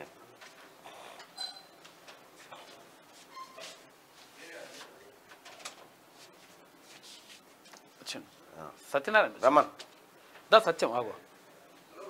అదే నామినేషన్ ఆ, దా దా దా. సత్యం రా. నువ్వు కూడా రా అక్కడ కూర్చో. నువ్వు అదే గెటప్లో వస్తావు నువ్వు. కూర్చో అబ్బా. రా ఉందా? ఇక్కడ అవకాశం ఉంటే. ఇగో ఈయన పేరు ఆశిల శివకుమారు. ఇగో ఇదేంది? ప్రొఫైల్ తయారు చేసినావా? అంటే ఎమ్మెల్యే టికెట్ అయింది లేదండి ఏదైనా మంచి పదవి కోసం. మంచి ఇక్కడ పదవి సత్యం. ఇక్కడ రెండు అవకాశం వేల? ఒకటి నుంచి రెండు వేల ఆరు వరకు ఎన్ఎస్యూ లీడర్ అన్న. రెండు వేల ఏడు నుంచి మదదశ ఉద్యోగం నుంచి టీఆర్ఎస్ పార్టీ జాయిన్ అయినా అన్న హరీష్ రావు హరీష్ రావు నమ్ముకొని పోయినావు మైక్ పెట్టు. ఎట్లుంటుంది చెప్పు? టీఆర్ఎస్ పార్టీ ఎట్లుంటుంది చెప్పు? టీఆర్ఎస్ పార్టీ అన్న. నీ అనుభవంతో కష్టపడ్డ కార్యకర్తకైతే ప్రస్తుతానికైతే ఏం లేదన్న. ఒక డబుల్ బెడ్రూమ్ ఇల్లు లేదు. ఇక ఈ ఆటో చూస్తురా? ఈ ఆటో వస్తే ఇగో ఈ బండి ఉందా? గులాబీ బండి చెత్తకు హాయ్ నమస్తే. నా పేరు ఆశిన శివ. నేను రెండు వేల ఏడు నుంచి టీఆర్ఎస్ పార్టీలో ఉన్నా. ఏదో సాంగ్ వస్తుంది బ్యాక్గ్రౌండ్లో. హ్యాండిక్యాప్ అయినా వచ్చేటప్పుడు ఆయనకి ఇచ్చేసిన పేరంట హ్యాండిక్యాప్ నాకు ఒక చిన్న బాగా అనిపించింది ఏంటంటే ఇట్లా పంపిస్తున్నా పదిహేను వందల రూపాయలు వస్తున్నాయి. పదిహేను వందల రూపాయలు ఈ టీఆర్ఎస్ పార్టీ కోసం ఎన్నో ఖర్చు పెట్టినా ఎన్నో చేసినా ఎన్ని కోట్ల ఆస్తి అమ్ముకున్నా. సోషల్ సర్వీస్లో నెంబర్ వన్ నేను ముందుంటా. పాపం ఆయన హ్యాండిక్యాప్ అనగానే అప్పుడు అనిపించింది. సరే ఆయన ఈ డబ్బు లేదు ఆయనకే ఇచ్చి పాపం ఏదైనా ఉంటే ఖర్చు పెట్టుకోమని అనిపిస్తున్నా బాలకృష్ణ చెప్పనా? ఇగో బండి చూసినా చెత్త బండి లెక్క ఎక్కిచ్చిండు. ఆ స్కూటర్ వేసుకొని రాష్ట్రం అంతా తిరిగిండట రాష్ట్రం అంతా తిరిగి బీఆర్ఎస్ టీఆర్ఎస్ పార్టీని గెలిపించాలి. అది ఇదని రాష్ట్రం అంతా తిరిగిండు శివ. విషయం ఏంటంటే ఇగో ఈ తెలంగాణ స్కూటర్ని ఎన్నికలు రాబోతున్నాయి. ఇది ముందుకు పడ్డది. దీని మీద చాలా తిరిగిన చాలా కష్టపడ్డా. నా దగ్గర ఒక ప్రొఫైల్ ఉంది. దీనికి సంబంధించిన ఒక ప్రొఫైల్ ఉంది. మరి దీన్ని మనం మంచి చేసుకుందాం అని చెప్పి ఎంపీ దగ్గరకు పోయినా ఎమ్మెల్యే దగ్గరకు పోయినా హాస్పిటల్ దగ్గరకు పోయినా అందరి దగ్గరకు పోయినా కానీ ఏ ఒక్కరు స్పందించలే ఏ రోజు. దీనికి ఖర్చు పెట్టి దీన్ని మంచి చేపించి మళ్ళీ ఎలక్షన్లో మళ్ళీ టీఆర్ఎస్ పార్టీ కోసం తిరుగుదామని చాలా ఉండే. కానీ ఏ ఒక్క ఇదేనా స్కూటరు? లీడర్ నన్ను పట్టించుకోలే ఏ ఒక్క కార్పొరేటర్ పట్టించుకోలే ఏ ఒక్క ఎమ్మెల్యే పట్టించుకోలే. ఎక్కడెక్కడో ఎక్కించినావు కదా దీని మీద? మొత్తం ఆ? ఇరవై జిల్లాలు తిరిగిన ఐదు జిల్లాలు తిరిగిండట. టీఆర్ఎస్ పార్టీని గెలిపియాలైనా స్కూటర్ వేసుకుంది తిరిగి తిరిగి తిరిగి ఇంట్లో పినగలు ఏం లాభం లేదని ఆఖరికి ఆ శనగబట్టాల్లో పిలిచి స్కూటర్ వేసేసిండట. సిద్దిపేట జిల్లా ఉన్నా నేను మళ్ళీ కొండపాక ఊరు మాది. సెటిల్డ్ షేర్లింగంపల్లి పుట్టి పెరిగినంత రాజీనామా చేసినట్టేనా? ఇంకేమైనా ఉందా? చేసినట్టే అన్న ఆల్మోస్ట్. అంతేనా? అంతే. సరిపోయింది. దమ్మొచ్చిందా వచ్చిందని ఇప్పుడే. రాష్ట్రం అంతా తిరిగిండు. స్కూటర్ మీద. స్కూటర్ మీద రాష్ట్రం అంతా తిరిగితే ఇంకా గల్లీ గల్లీ తిరిగిన అన్న జిహెచ్ఎంసీ కార్పొరేటర్లు అయితే పదకొండు మంది పదకొండు మందిని మొత్తం గెలిపించిన నేను. ఏ ఒక్కరు కూడా స్పందించలే. అన్న ట్విట్టర్లో పెట్టిన ఒక రెండు వందల మూడు వందల గ్రూప్లు ఉంటే గ్రూప్లలో పెట్టిన ఏ ఒక్కరు స్పందించలే. పోనీ నాకు నాకు చేద్దామని ఉంది టీఆర్ఎస్ కోసం చేద్దాము ఒక అభిమానం కేసీఆర్ అంటే ఉంది. కానీ ఇప్పుడు మొత్తం పోయిందన్న. మొత్తం పోయింది. ఒక డబల్ బెడ్రూమ్ నేను ఇప్పుడు ఉంటున్న ఇల్లు కూడా ఇరవై వేల కిరాయి అన్న. డబల్ బెడ్రూమ్ ఇల్లు కూడా ఇవ్వలేకపోయింది కేసీఆర్ ప్రభుత్వం? కేజీ అవి ఏమనంటే కేజీ టు పీజీ విద్య అంటారు కదన్న. పదో తరగతి వరకు మంచి ఒక ప్రైవేట్ ఏవైతే ఎట్ల- ఎట్- ఎట్లయితే ఉంటాయో అట్లా మంచి సంస్థలు ఏర్పాటు చేసి గవర్నమెంట్ స్కూల్ని ఒక ప్రైవేట్ లాగా వేసి పెడితే అన్న చాలా మంది బాగుపడతారన్న. నిరుద్యోగ అసలు అయితే ఘోరమైన జాబులు అయితే వాళ్ళకి పాపం ఒక్కొక్కరు గుండె మీద చేసుకున్నా చెప్పండి ఈ పరిపాలన ఎట్లుందన్న? బాగాలేదన్న హార్ట్ హార్ట్ఫుల్గా చెప్తున్నా. బాగాలేదు కదా? బాగాలేదు ఈ మాట చెప్పు ప్రజలకి. టీఆర్ఎస్ పార్టీ కార్యకర్తలకు చెప్పు. ఇక జాలు బయటికి రేరు అని చెప్పు. టీఆర్ఎస్ పా పార్టీ కార్యకర్తలకు ఒకటే నేను చెప్పేది. నేను గత రెండు వేల ఏడు నుంచి టీఆర్ఎస్ పార్టీలో ఉన్నా చాలా అంటే ఒక సైనికుల్లా కష్టపడి గల్లీ గల్లీ తిరిగి ఒక ఎమ్మెల్యేని ఒక ఎంపీని కార్పొరేటర్ని అందరినీ గెలిపించుకొని జై తెలంగాణ జై అండి జై జై కేసీఆర్ అని తిరిగినా ఈరోజు నాకే ఎలాంటి ఒక డబల్ బెడ్రూమ్ ఇల్లు కానీ ఒక బీసీ లోన్లు కానీ నేను ఏది ఏది అడిగినా కూడా ప్రభుత్వం నాకు ఏది చేయలేకపోయింది. అందుకే నేను బాధతో ఈరోజు టీఆర్ఎస్ పార్టీకి రాజీనామా చేయబోతున్నా. చేసినావు ఇక. చేసిన ఈడ. చేసిన. నీకు ఏం పార్టీ పబ్లిక్ చేస్తుందా? ఇప్పుడు నేనేమంటున్నా శివ వీడికి వచ్చిన వెంటనే కథం అయిపోయింది ఇక. ఈ- ఈ బుక్కడు వారి. ఈ పోయాడు వారి. సరిపోయింది ఈ సంగతి. కేసీఆర్ నమ్ముకొని ఈ పచ్చబొట్లు ఇవన్నీ వేసుకొని ఎవరైతే ఉన్నారో ఇవన్నీ ఉత్తయే వాళ్ళ కుటుంబం బాగుపడ్డ తప్ప ఇటువంటి వాళ్ళు ఎవరు బాగుపడలే. ఇంతకు మించిన నికార్సైన కార్యకర్త ఆడుంటాడా ఇంకా? ఇంతకు మించిన బండికి తన బండికి గులాబీ రంగు వేసుకొని అది కేసీఆర్ బొమ్మ హరీష్ రావు బొమ్మ పెట్టుకొని పెట్రోల్ పోసుకొని ఇరవై ఐదు జిల్లాలు తిరిగి వచ్చిండు గెలిపియాలని. ఇరవై ఐదు జిల్లాలు తిరిగి వస్తే ఈయన మైనపూర్ కాళేశ్వరం పోయినా? ఎనిమిది కోట్ల రూపాయల ఆస్తులు కథం చేసుకోండి మీదకెళ్ళి. కేసీఆర్ నమ్ముకో? కేసీఆర్ నమ్ముకో ఉన్నది అమ్ముకో. అది. ఇది కావద్దని చెప్పి మమ్మల్ని ఆగం చేసింది ఆ, మళ్ళీ వచ్చి మీటింగ్లలో చెప్తాడు ఎవరు ఆగమాగం కావద్దు ఆత్రమాత్ర పడొద్దు అని చెప్తాడు. ఇగో ఇదే కథ. కేసీఆరే ఆగమాగం నుండు కేసీఆరే ఆత్రమాత్రం నుండు. ఈయనతో పాటు ఇగో ఇంకొక నిరుద్యోగి. నమస్తే. ఏడేసినావు నామినేషన్? నేను గజ్వెల్ వేసిన మున్గోళ్ళు వేసిన గజ్వేల్లో మునుగోడులో నామినేషన్ వేసిండు.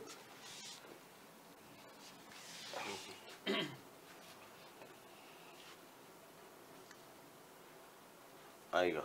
ఈయనేగా? ఇగో. చిన్న పెద్దలందరూ కూడా ఆలోచించండి.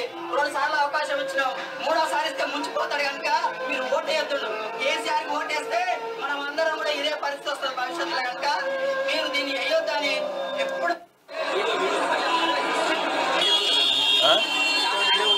పెద్ద వీడియో పెద్ద చూపిస్తాం కానీ ఇప్పుడు.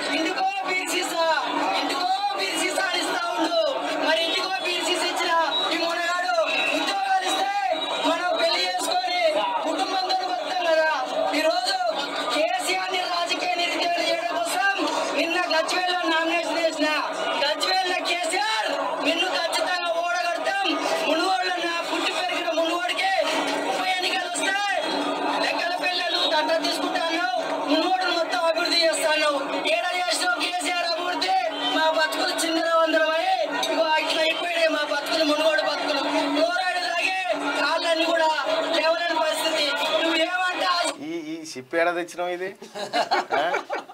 అన్న జనరల్గా. ఉంది. పిహెచ్డి స్కాలర్ అన్న ఉస్మాన్. రెండు వేల పదకొండులో సుదర్శన్ అన్న కూడా మా బ్యాచ్ మేట్ మూడు రోజులు అన్న అలసకాలం ఆమన్యార దీక్ష చేసి మూడో రోజుగా అయిపోయేటట్టుంది ఆగమైతే కోదండరామ్ సార్ వచ్చి విరమణ చేయించిండు. అంతా చేసి మేము జీవితాన్ని మొత్తం త్యాగం చేస్తే పైకి బట్టలు కనపడుతున్నాయి కానీ అన్న లోపల తెలంగాణ నిరుద్యోగులు అందరు బతుకులు ఇట్లే ఉన్నాయి అన్న. అందరు వీటిని ఉన్న వాస్తవికంగా చూపించాలని. ఆ. చిప్ప బయటికి కనప ఆ చిప్ప అనేది దాచిపెడతా. కేసీఆర్కి బరాబర్గా ఆ చిప్పే దిక్కవుతుంది ఆఖరికి. ఏ దుబాయ్ బయటికి పారిపోవాల్సిన పరిస్థితి వస్తుంది కేసీఆర్కి మేము ఏమన్నా కొంతమంది కామెంట్లు పెడుతున్నాను ఏమనంటే తెలంగాణ చదువుకున్న వాళ్ళందరికీ ఉద్యోగాలు వస్తాయని మాట్లాడతారు కొంతమంది. చదువుకున్న వాళ్ళందరికీ ఎట్లా వస్తున్నాయా? మరి వాళ్ళకి ఎట్లా వస్తున్నాయి ఐదు ఉద్యోగాలు? కేసీఆర్ ఇంట్లో పుట్టిన వాళ్ళందరికి వస్తలేవు శివ? ఏమన్నా అసెంబ్లీ సాక్షి తొంభై రెండు వేల ఉద్యోగాలు అని చెప్పిండు అన్న ఆ లెక్కలు అసెంబ్లీలో చెప్పినా ఇప్పుడు ఎలక్షన్ మళ్ళీ ఈయన సీఎం ఉద్యోగం కోసం పోతుండు కదా. రెండు ఓడిపోతాడు కానీ రెండు ప్లేస్లు ఓడిపోతాడు కానీ మరి తొంభై రెండు వేల లెక్కలు చూపించి రిక్రూట్ చేసిన లెక్కలు చూపించినాక ఎలక్షన్లో పోవాలి. లేకపోతే బొక్కలు ఇరుగుతాయి. బరాబర్ ఓట్ల వి కేసీఆర్ సిద్ధాంతం ఎట్లుంటది మీరు చెప్పినట్టు నన్ను నమ్ముకోరి ఉన్నదంతా అమ్ముకోరు. ఇట్లుంటది. బండ మీద ఎండగొడుతుంది ఇప్పుడు నిరుద్యో ఇప్పుడు నీవు ప్రధానమైన డిమాండ్ నిరుద్యోగ సమస్య అనేది నీ డిమాండ్ దానికి నిరసనగా నామినేషన్ ఇచ్చిన అవునన్నా. దానిపైన నీ అభిప్రాయాలు ఏంది? నువ్వు ఏం చెప్పదలుచుకున్నావు సమాజం తెలంగాణ ప్రజలారా మీ బిడ్డలందరూ కూడా ఇట్లా బిచ్చగాళ్ళు కావాలంటే మీ బిడ్డలకు ఉద్యోగాలు రావద్దంటే మీ జీవితాలు నాశనం అయిపోవాలంటే తెలంగాణ మొత్తం కూడా సత్త నాశనం కావాలంటే కేసీఆర్ కోటేసుకోవాలి మేము వద్దను. లేదు మా తెలంగాణ తెచ్చుకున్న తెలంగాణ బంగారు తెలంగాణ నిజంగానే కావాలి. మా పిల్లలకు ఉద్యోగాలు రావాలి వైద్యం ఫ్రీగా అందాలి మంచి విద్య అందాలి మరి యావత్ తెలంగాణ మొత్తం సుభిక్షంగా బతకాలంటే మాత్రం కేసీఆర్కి దయచేసి ఓటేయద్దు అని చెప్పేసి నీకు రిక్వెస్ట్ చేస్తాను మొత్తం సమస్యలు కూడా చెప్పినాం. మున్గోడు ఉప ఎన్నికలు వస్తాను ఏడ ఉప ఎన్నికలు వస్తాడు మొత్తం ఇట్లా పిట్టలాగా మొత్తం జమ అవుతారు. విషయం ఏంటంటే నిన్న మొన్న కేసీఆర్ అంటాడు కేటీ రామారావు అంటుండు ఈ బకపల్సర్ ముఖ్యమంత్రిని బొనిగ విస్తాను కదా ఢిల్లీకి ఏం దిగుతుర్రు ఇంతమంది అంటుండ్రు. మునుగోడు కాడికి ఎంతమంది వచ్చి ఉప ఎన్నిక అప్పుడు? వంద మంది ఎమ్మెల్యేలు. పదిహేడు మంది మళ్ళా ఎంపీలు. జడ్పీటీసీలు సర్పంచ్లు వార్డు మెంబర్లు లేవలేనోడు అందరూ ఇక పాక్కుంటా డేక్కుంటా అందరూ వచ్చారు రోడ్లు మొత్తం నాశనం చేసి పెట్టిరు ఒక్క రోడే వేయలేదు దొంగ కొడుకులు. ఒక్క రోడ్ వేయలే మొత్తం ఇరవై ఏళ్ళల్లో సర్వీస్ ఇచ్చేటువంటి మా ప్రాంతం కాలుష్యం ప్లాస్టిక్ మొత్తంతో ఆగమైపోయింది మొత్తం. ఇప్పుడు ఒక్కడు లేడు మరి మా ఊరికి ఒక ఆయన వచ్చిండు ఒక ఆయన ఎమ్మెల్యే వచ్చిండు. బస్ వేయించింది నాలుగు రోజులు. అరే నాయన దండం పాండ కాదు ఆయన మన సురేందర్ అనుకుంటా. సురేందర్. సురేందర్ పాపం ఆయన పాపం బత బతలాడుకుంటూ ఏం చేస్తాం? పైన మంచి ప్రెషర్స్ ఉన్నాయి. దండం పెడతారు ఆయన అని ఆ బస్సు ఫోన్ చేసి పది రోజులు నడిపారు ఆయన తర్వాత బంద్ చేసుకో అని చెప్పేసి. ఎలక్షన్లు అయిపోయినా బంద్ చేసి ప్రతి విలేజ్ ఇంతే. రెండు వందల ఓట్లకి రెండు వందల ఓట్లకు ఒక ఎమ్మెల్యే ఉంటాడు. ఒక వార్డ్ మెంబర్ పనిచేస్తాడు. వార్డ్ మెంబర్ లా వీళ్ళు ఎమ్మెల్యేలా. సిగ్గుండాలకి పనిచేస్తానికి. కేసీఆర్ వచ్చి లెంకల పెళ్ళి దత్తత. ఒక విలేజ్కి దత్తత తీసుకుంటాడా ఎవరైనా సీఎం రాష్ట్ర CM head of the state తీసుకున్నాక మంచి చేసిండా మరి? ఏముంది? అంత పోయి అడగాల. కాదు ఒక్కొక్క ఊరిని ఒక్కొక్కరు తీసుకురుగా ఎమ్మెల్యే దత్తత ఏంది డ్రామా దగ్గర ఐదున్నర తీసుకోలేదు అన్న కేటీఆర్ ఏం చేసిన ఏం చేయలేదు వాసన మరి ఒక్క వర్షం పడితే మొత్తం మరి. తీసుకుంటే పోషెట్ అంటారు కదా పోషెట్ అంటారు కదా పోషెట్టి కాదు. పెట్టిన పేరు దోషెట్టి అంటే కేసీఆర్ ధరణి స్కామ్. దోసుకోవడం, దోసుకోవడం మొత్తం. KCR Dharani scam. కొడుకు ఐటీ స్కామ్. కూతురేమో జాబ్ల స్కామ్. హ్యాపీ రావు ఏమో రాత్రి సెటిల్మెంట్ స్కామ్. పెన్షన్ అంటాడు కదా హరీష్ రావు ఏమో నీళ్ళ scam. Twenty one disabled candidates ఉన్నారు. Disease blood diseases thalassemia haemophilia ఈ మన సికిల్ సీనియా ఉన్నాయి కదా వాటికి ఇంతవరకు సర్టిఫికేట్ ఇవ్వాలి తెలంగాణలో. ఆ, మన ఆంధ్రప్రదేశ్లో ఏమో వాటికి పదివేల పెన్షన్ ఇస్తారు వాళ్ళకి బ్లడ్ డిసీజ్. ఒక్కసారి బ్లడ్ అంటే ఒక ఐదు ఆరు ప్యాకెట్లు ఎక్కాలి. అవును. వాళ్ళకి అసలు తెలంగాణలో పట్టించుకున్న దాఖలాలు లేవు. ఈయన కొత్త పెన్షన్లు ఇస్తా అంటుండు కదా. పాతాటికే వీటికే దిక్కు లేదు. ఉమ్. ఈ సన్న బియ్యం అంటుండు. అసలు పదేళ్ళ నుంచి రేషన్ కార్డులే లేదు కొత్త పెళ్ళి అయిన వాళ్ళకి. అన్ని కొట్టేసి వాళ్ళకి రేషన్ కార్డు. ఏ సన్న బియ్యం ఆడిస్తాడు మోతేవారి ఇలా పోషెట్టి కాదు దోషెట్టి మొత్తం దోసుకుంటాడు ఇట్లా. మా దగ్గర దళిత బంధు అన్న. ఇది ఈ టైప్ అయినది ఒక కారు మూడు లక్షల కిరాయిలు వస్తాయి. అన్ని ఉన్నోళ్ళకి మన దాంట్లో వచ్చింది ఆల్రెడీ అన్ని ఉన్నోళ్ళకి దళిత బంధు వచ్చింది. ఏం లేనోనికి ఏమో ఆడేమో రోడ్డు మీద తిరుగుతున్నాడు? మొన్న మొన్న డబల్ బెడ్రూమ్ మూడు లక్షల కిరాయి రే- మళ్ళీ రెండు బిల్డింగ్ ఉన్న వాళ్ళకి డబల్ బెడ్రూమ్ వచ్చింది అన్న మనం పెట్టుకుంటే రిజెక్ట్ అయిపోయింది. అదే చెప్తున్నా నా బాధ అదే కదా. సింపుల్గా ఇప్పటిదాకా ఎవరు ఎర్రబల్ దయాకర్ రావు అంటా ఉన్నాడు చూడు ఇక ఎర్రబల్ దయాకర్ రావు ఏమంటుండు చూడు? క్లోజ్ చేయనా కానీ నీ నీ వేసినటువంటి నీ రూపం ఏదైతే ఉందో అది అట్రాక్ట్ చేసింది బాగా.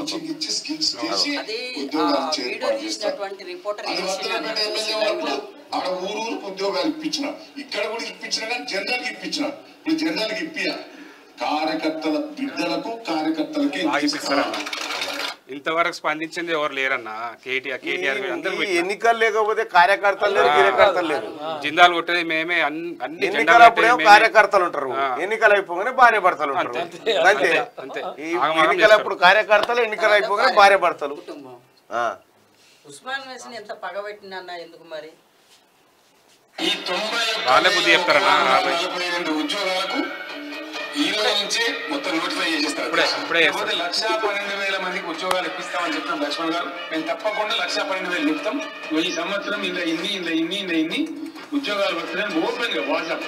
ఇది మేము పారదర్శకంగా ఉంటాం మిమ్మల్ని మోసం చేయదలుచుకోలేదు. మిమ్మల్ని మోసం చేయదలుచుకోలేదు.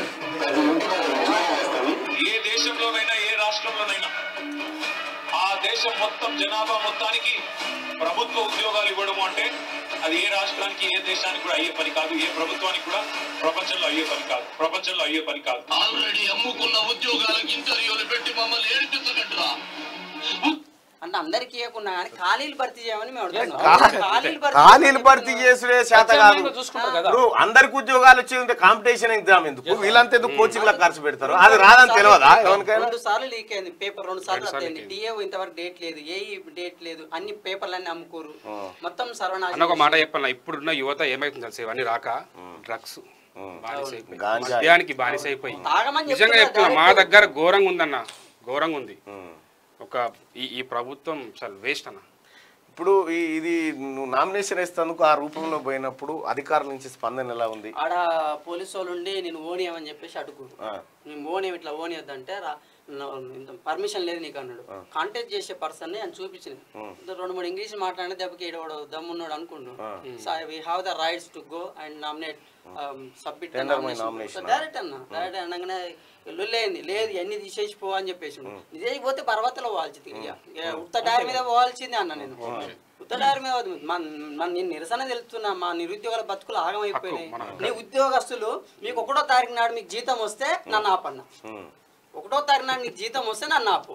పెన్షన్లే కరెక్ట్ టైంకి వస్తలేవు అంతలో మీడియా మన వాళ్ళందరూ వస్తారకే ఇదేదో పెద్ద అదే అవుతుందని చెప్పేసి రెండు వేల రూపాయలు పెన్షన్ టైంకి అట్లే లోపలికి?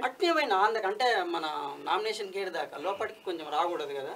వాళ్ళు పర్మిట్ చేస్తే ఆడు కూడా మన లోపల పోయినాక వద్దన్నారు. అంటే సీసాలు షిప్ అది మొత్తం రూమాలు. అంతా నా పక్కన ఉన్న వాళ్ళు కూడా ముక్కు మూసుకొని వెళ్ళిపోయారు. అంటే తెలంగాణ నిరుద్యోగులు ఇంటికి ఓ పండగ లేదు పబ్బం లేదు పెళ్ళి లేదు పేరంటం లేదు మంచి లేదు చెడు లేదు చేతిలో పైసలు లేవు. అప్పులు చేసి రెండు మూడు లక్షలు అప్పులు చేసి ఆర్టిస్ట్ క్లాస్ వల్ల మొన్న ప్రవళిక అన్న చూసినావు కదా? అసలు గ్రూప్ టూ అప్లై చేయ అన్నాడు ఈయన ఈయన ఈ చిన్న కేటీ రామారావు. గారు. అసలు ఆమె చూస్తే అన్ని ఉన్నాయి నా దగ్గర అవి కూడా ఉన్నాయి. అప్లై గ్రూప్స్ అప్లై అంటే ఎందుకు ఇంత అంటే పచ్చి అబద్ధాలు. ఇంకా ఏం తెలియకుండానైతే ఇంకా మీరు గవర్నమెంట్ ఫస్ట్ ఎగనెస్ట్ అంటే ప్రశ్నించి మీరు బయటకు. వెళ్ళడంతోనే మా ఆసంటాలు బయట వాస్తవానికి మీరు ఫస్ట్ వచ్చి బరాబర్ నీ కాళేశ్వరం మీద మీరు ఇచ్చినటువంటి రిపోర్ట్ తోనే ఈ దొంగ ఏందనేది మొన్న మేడిగాడు చూసినా కదా. చూసినా. ఇప్పుడు ముందు కూడా మీరు ఎక్స్ప్లెయిన్ చేశారు. అంటే ప్రతి ఒక్కరు కూడా ఇట్లా భయపడుకుంటూ భయపడుకుంటున్నారు తెలంగాణ. నిజం అప్పుడు. భయపడకుండా, నేను- భయపడకుండా నేను ఈ ఈ అరాచకాలన్నీ చూస్తున్నప్పుడు ఏంద్రాబాయ్ ఎవడు అడగాలి రాయుడు ఆ కాంగ్రెస్ వాడు ఆడబన్నాడు బీజేపీ వాడు ఈడబన్నాడు లెఫ్ట్ పార్టీలో అయితే వాడు నిద్ర పోతా ఉన్నాడు.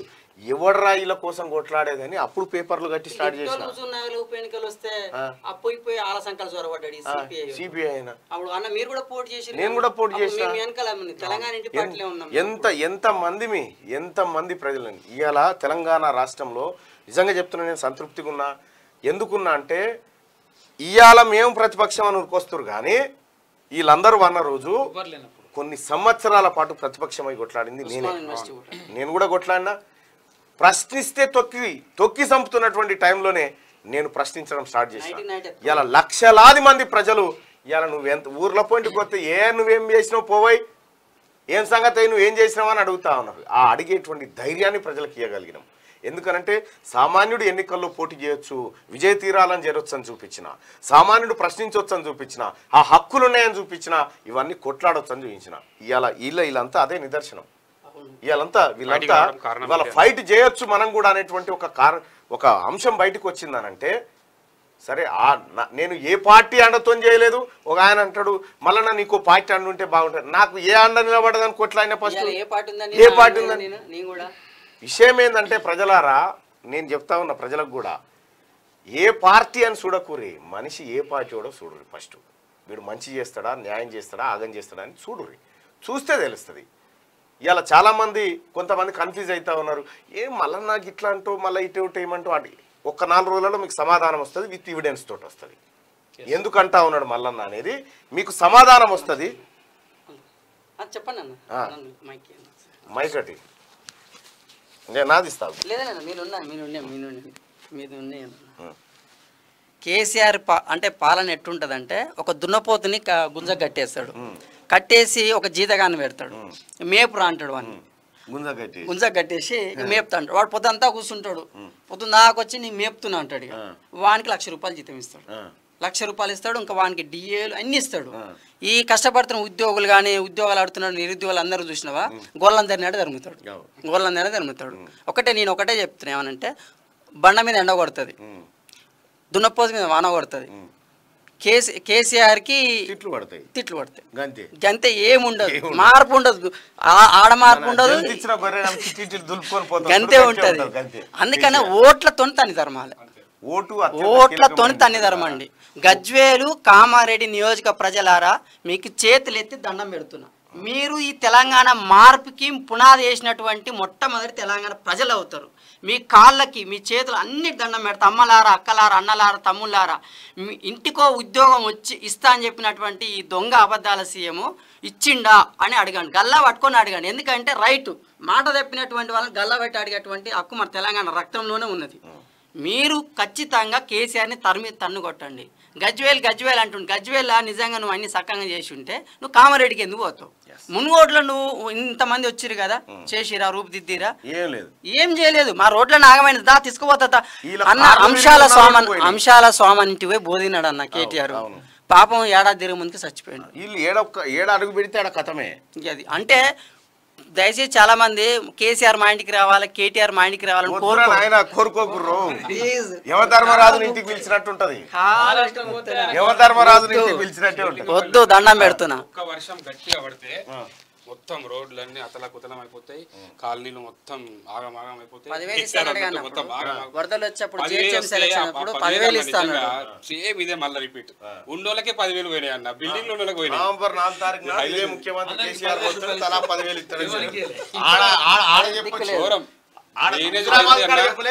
ఎన్నికల కోడుతో ఆపిర్రు. ఎన్నికలు అయిపోగానే నేనే వచ్చి ఇంటింటికి ఇచ్చిపోతా దళిత బంధు పైసలు రెండు వేల పద్దెనిమిది రైతు రుణమాఫీ అన్నాడు కదా. ఆఖరి- ఆఖరికి ఈయన సోపతి ఆకులాగానే యాస్టక్ వచ్చి బీజేపీలో బీజేపీలో చేరాడు. ఆ, నా దోస్తు అన్నాడు. నా దోస్తు అన్నాడు ఇంకేమేమో చెప్పినా ఆమెకు. అలనేరడు బండి ఇగో.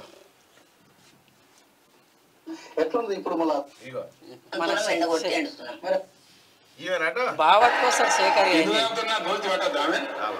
ఏమైందో తెలుసుకోవాలంటే ఫస్ట్ కాంచి రావాల్సిందే. నాకు బాగా దోస్త్ అయిందేమో ఆటలు ఆగవా? ఎందుకు అవుతున్నా గోతి పట్టద్దా ఆమె? నేను వాళ్ళని పక్క కూర్చోబెట్టుకుని అన్నం తిన్నా? బండ్లు పెట్టింది. ఇంత ఎవరో యాదుకుందా? సీఎం సార్ దత్తత తీసుకున్న వాసాల మరి పెద్దవా ఏడాదిన్నర కిందట ఊరోళ్ళకి దావత్ ఇచ్చినాడు అవన్ పక్క గుకుండా పెట్టుకొని తిన్నాడు స్టేజ్ మీద పక్కకే సీట్ వేసిండు.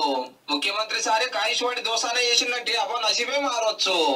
ఏది ఇలా పోయి మందలిద్దాము. ఓ ఆగవా ఆగాగు అయ్యో సీఎం సార్ దోస్తు గీంట్లుంటున్నా ఓ ఇట్రా ఇట్రా జర తాతను కూడా విలువ చిన్నగా రాయే పెద్ద మనిషి. ఇక ఈడ ఊకోండి ఇక అమ్మా బాగున్నావా? బాగున్నా సారు. ఏమి కేసీఆర్ వచ్చి సంవత్సరం అయింది ఇక్కడికి వచ్చి అంటే ఇల్లు కట్టిస్తా ఊరు అభివృద్ధి చేస్తా అన్నాడు. ఎట్లుంది ఇప్పుడు? ఇప్పుడు ఇండ్లు లేవు ఏమి లేవు. మాకైతే సాగు మారిన ముందు వాన కొడితే ఒకరికి రెండు మాట్లాడటానికి వచ్చి పట్నంలో కాడక తిని బతుండు. కేసీఆర్ను నమ్ముకుంటే కేసీఆర్ నీడ దాకపోవడే మంచిది. కేసీఆర్ నీడ దాకింది అనుకో. ఇక అది బుతపురు వారినట్టే ఉంటది పెయ్యి మీద. జనగ పట్టినట్టు పడతాడు అన్నట్టు. వాళ్ళు ఏ ఇంట్లో అడుగు పెడితే ఆ ఇల్లు నాశనం. తెగులు. గులాబీ తెగులు. గులాబీ తెగులు అని ఈ మధ్య కొత్త పురుగు వచ్చిన ఉన్నది కూడా అది. ఈ రకంగా నిరుద్యోగులను మోసం చేస్తే తను ఒక నిరసనతో కూడినటువంటి నామినేషన్ దాఖలు చేసిండు. ఇక గుట్టకురాలు మోసినట్టుగా ఓ స్కూటర్ తయారు చేసుకొని ఇరవై ఐదు జిల్లాలు తిరిగి టీఆర్ఎస్ను గెలిపించాలని తిరిగి తిరిగి నిన్న శనగ బఠానీలు ఆయన కేసేసిండు. ఏది? స్కూటర్ శనగ బఠానీలు ఆయన కేసి నీకో దండం నీ పార్టీకో దండం అని వచ్చి పోయాడు పదహారు సంవత్సరాల నుంచి ఉన్నా టీఆర్ఎస్ పార్టీలో. ఇంతవరకు ఒక చిన్న పదవి ఇచ్చిన పాపం కూడా పోలేదు అన్న. చిన్నది పెద్దది ఏది అసలు గుర్తించిన. పాపాన్నే పోలేదు అంటే- శ్రీలింగం పల్లె అయితే మరి దారుణం అన్న. బర్రె పాలు ఇస్తున్నంత సేపు మేతేయరే. అర్థమైందా? ఇచ్చిన పాలు బంద్ చేస్తేనే మేత వేస్తారు అన్నట్టు నువ్వు ఇచ్చుడు పెట్టావు కాబట్టి వాళ్ళు ఎత్తలేరు. అందుకోసమే ఇక యువకులారా ముఖ్యంగా నిరుద్యోగులారా ఈ ఆవేదన చూసైనా కేసీఆర్ కోటేయద్దు. కాంగ్ టీఆర్ఎస్ పార్టీలో ఉన్నటువంటి కార్యకర్తలారా ఇటువంటి కార్యకర్తల కష్టాన్ని చూసైనా మీరు ఇంకా అలా తిరుగుడు బంద్ చేయరు. మెసేజ్ పెడుతురు వాళ్ళు. ఏమని? మేము బయటికి జెండా మా మెడల ఉరితాలు లెక్క ఉన్నాయి ఈ గులాబీ కండువాలు. లేకపోతే నీ వెనకాల ఉరుకొత్తం గానీ ఇక మళ్ళీ ఏడ బెదిరిస్తారు? టీఆర్ఎస్ పార్టీ ఉన్న రోజులేం సపోర్ట్ చేయరన్న? ఇలా గుట్టు రట్టంతా తెలిసి ఉంటది కదా? ఇది పుసుంట అసుంట పోయింది అనుకో ఏమంటే అరే నీ భాగవతం ఇదని చెప్పేసి ఒకటే జాయిన్ అయింది మన. సూర్యాపేటలో జగదీశ్వర్ రెడ్డి చేయ- చేయమంటేనే ఆయన చేయించింది కదా. ఈ రోజు మాట ఒకటే చేయని మళ్ళీ ఏం చేసిన ఆయన గుట్టు రట్ట అని తెలుసు కానీ బరాబర్ ఒకే రోజు డెబ్బై ఆరు కేసులు ఎట్ట పెడతారన్న అంటే అట్లా అన్నిటికీ తెగించి రావాలన్న అన్నిటికీ తెగించి బయటికి రావాలి తెగించి రావాలేమో ఇప్పుడు నేను రాలేదా? చేసింది ఏముంది? ఇప్పుడు నేను పోతేనేమో మా అన్నలు ఇంక ఇద్దరు ఉన్నారు. వాళ్ళు చూసుకుంటారు ఉంటే. పద్నాలుగు నుంచి ఉద్యమాలు. చేసినటువంటి ఉస్మాన్ వెస్ట్లో మా మీద ఎంత ఉక్కుపాదం మోపిందో అన్న చూసిండు. రైట్ మీ మీ మీరు స్వతంత్ర అభ్యర్థిగా పోటీ చేసిరా? మీ పేరు ఏమని ఉంటుంది దాంట్లో? నా పేరు ఖమ్మంపాటి సత్యనారాయణ ప్రజాపతి అని ఉంటుంది. ఆ, మునుగోడులో అయితే ఆరో పేరో ఏడో పేరో వస్తుంది ఆ నేమ్ ఆల్ఫాబెటికల్ ప్రకారం. గజ్వేల్నేమో మరి నాది ఎంతో ఎంతమంది నూట నలభై ఐదు మంది ఉన్నట్టు. మరి ఎంత వస్తుందో కానీ ఖమ్మంపాటి సత్యనారాయణ ప్రజాపతి ఓటేస్తే నిరుద్యోగులకు మద్దతు ఇచ్చినట్టు right right thank you so much Prajapati garu. Prajapati అంటే ఏందో కాదు అదొక టైటిల్ అది ఒక సింబాలిక్ టైటిల్ మరి. శాలివాహన. శాలివాహనకు సంబంధించినటువంటి సింబల్ మన బిడ్డ కుమరోల బిడ్డ. మీరు హుజూర్నగర్లో పోటీ చేసేటప్పుడు ప్రచారం చేసినాం శివ మీరు కూడా రాజీనామా చేసిన సందర్భంగా స్వీట్ ఏమైనా ఉందా అనే ఆఫీస్లో? ఇంత స్వీట్ పెట్టాయా శుభ సందర్భం. శుభ. ఏది? ఆ, ఇగో. ఆ, ఇగో కాజు కాజు మెయింటైన్ చేస్తుంటాడే. గ్లో ఓనియాడు. గ్లో ఓనియాడు అన్న. చలో. Thank you so much morning న్యూస్లో పాల్గొన్నాను. రైట్ అన్న. రైట్ థ్యాంక్ యూ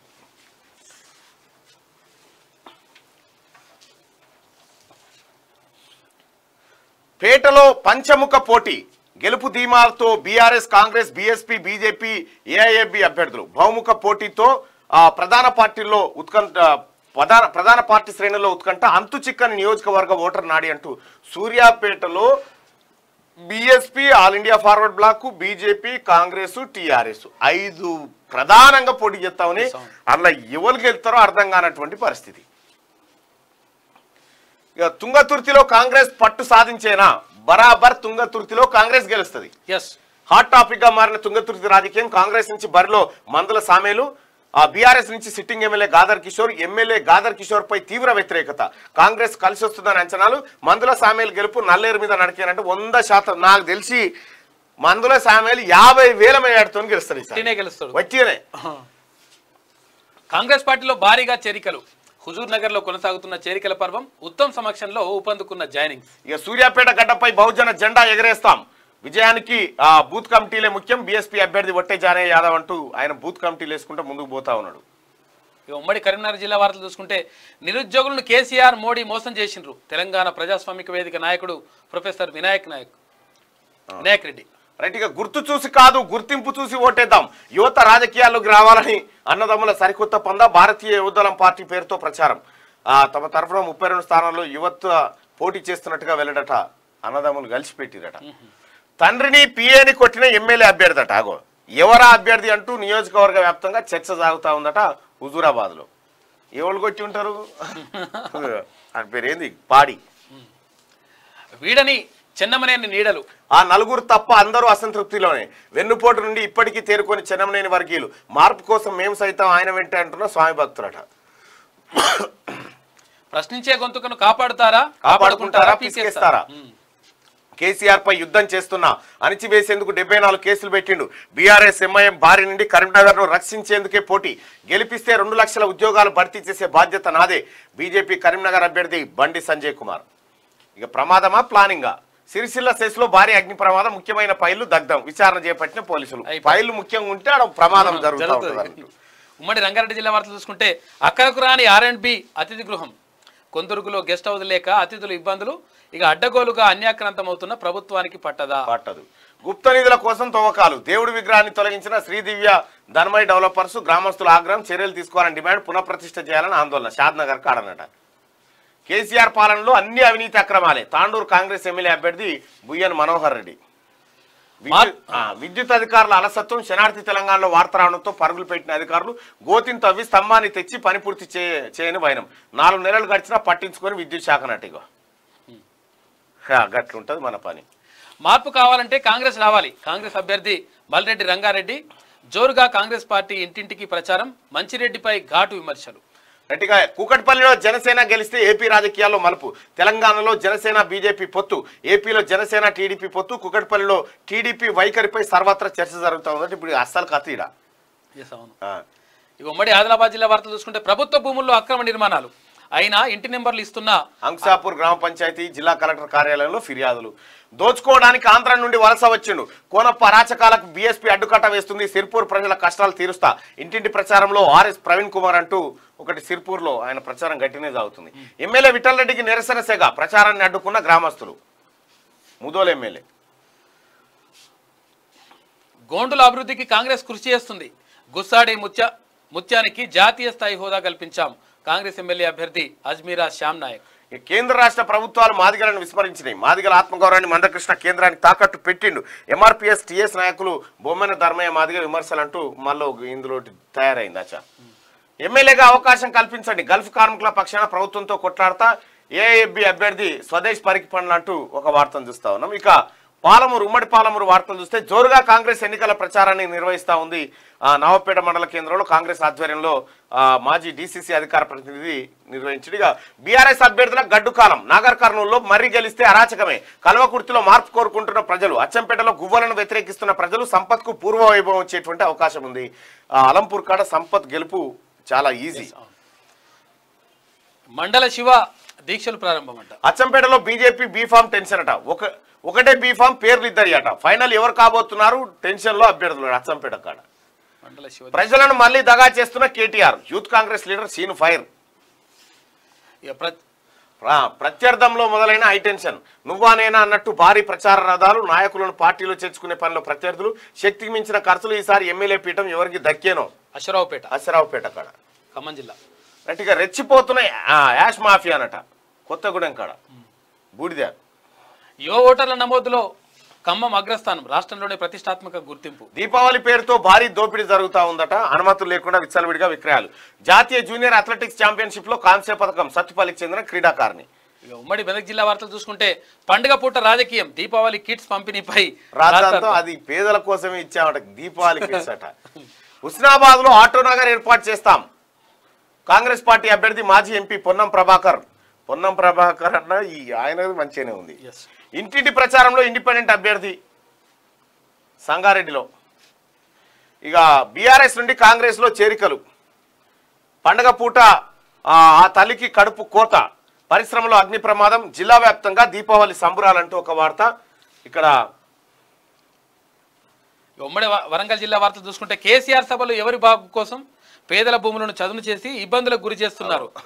చదును చేసిన వారిపై చర్యలు తీసుకోవాలని చెప్పేసి బాధితులు దురిగే అంటున్నాడు. రెడ్డియా నాయక్ నిరసన సెగ ఎన్నికలు వస్తేనే గుర్తొస్తామా? గ్రామాభివృద్ధి ఎక్కడ అని గ్రామ ప్రజలు. రెడ్డియా నాయకుని ఆయనని ఆయన ఓటమి. ఓటమిని. ఓటమి భయం. దిగజారుడు రాజకీయాలు మానుకోవాలి. ప్రజలు నిన్ను నమ్మే పరిస్థితిలో లేరు. గండ్ర సత్యనారాయణరావు.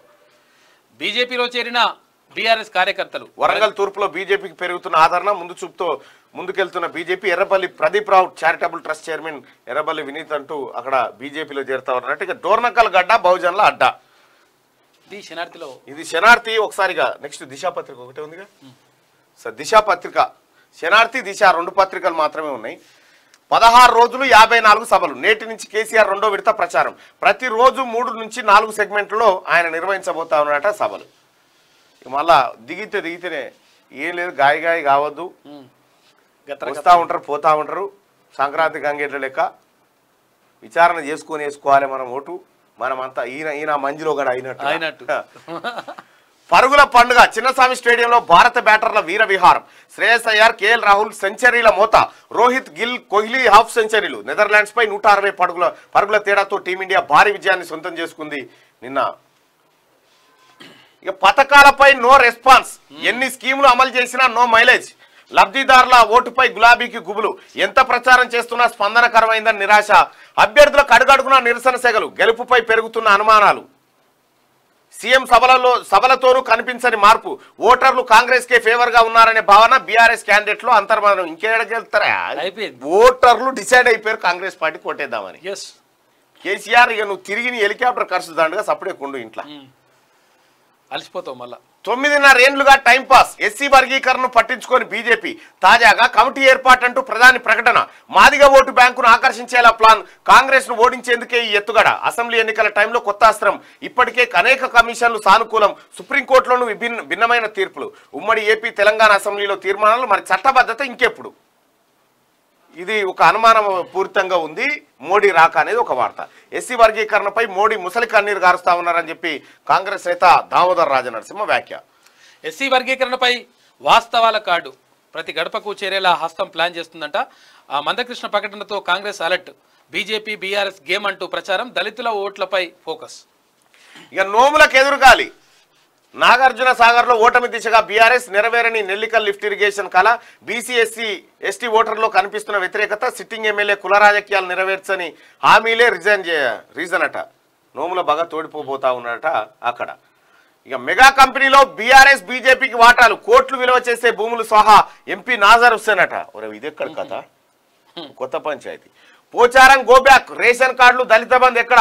శ్రీనివాసరెడ్డి సంఘ ప్రసంగాన్ని అడ్డుకున్న యువకులు ఫ్లకార్డులతో నిరసన. రెడ్డి నాయకు నిరసన సెగ ట్రాక్టర్ అడ్డు పెట్టి రెడ్డి నాయకును ఊళ్ళకే రానియలేదు. ట్రాక్టర్ అడ్డం పెట్టిరట కత్తిపోట్లు ఆసుపత్రుల నాటకాలు నమ్మొద్దు. ఓటమి భయంతోనే బీఆర్ఎస్ సానుభూతి స్ట్రాటజీ. కొత్త ప్రభాకర్ రెడ్డి దాడి రిపోర్ట్ ఏమైంది? రేవంత్ రెడ్డి. ఓటర్ జాబితాలో మీ పేరుందా? రెండు వేల పద్దెనిమిదిలో లక్షలాది మంది పేర్లు గల్లంతు. ఫైనల్ లిస్ట్ చెక్ చేసుకోకుంటే ఓటేసే ఛాన్స్ మిస్. గత ఎన్నికల్లో గుత్తా జ్వాల ఓటు గాయం. సారీ చెప్పినా అప్పటి సీఓ రజత్ కుమార్ రజత్ కుమార్ అంత చోర్ ఇంకోటి చాలా డేంజర్ పెద్ద చోర్ కేసీఆర్. ఈసారి అదే పరిస్థితి. ఫైనల్ లిస్టు రిలీజ్ చేసిరట మీ ఓటు ఉందా లేదా చెక్ చేసుకోరే అవును. ఉత్తమ్ మంచోడు. ఉత్తమ్ మంచోడు. జానారెడ్డి మాటలు వింటే నవ్వొస్తుంది. ఉత్తమ్ కుమార్ రెడ్డి మంచోట జానారెడ్డి మాటలు వింటే నవ్వొస్తుంది. రాష్ట్రంలో కుట్రలకు బీజేపీ కాంగ్రెస్ ప్లాన్ చేస్తున్నాయి. తప్పుడు నివేదికలు రెడీ చేస్తున్నారు. దేశంలో కేసీఆర్ చక్రం తిప్పకుండా అడ్డుకునే కుట్రనంట. చక్రం తిప్పి తాడిన. తాగినాక తిరిగితే చెప్పలేం కానీ చక్రాలు తిప్పుడు కేసీఆర్తో కాదులే ఇప్పుడు. సో ఇవి దిశాపత్రికలో ఉన్నటువంటి వార్తలు. ప్రజలారా దయచేసి ఎట్టి పరిస్థితుల్లో టీఆర్ఎస్ పార్టీ కోటేయకండి. టీఆర్ఎస్ పార్టీ అత్యంత ప్రమాదకరమైనటువంటి పార్టీ.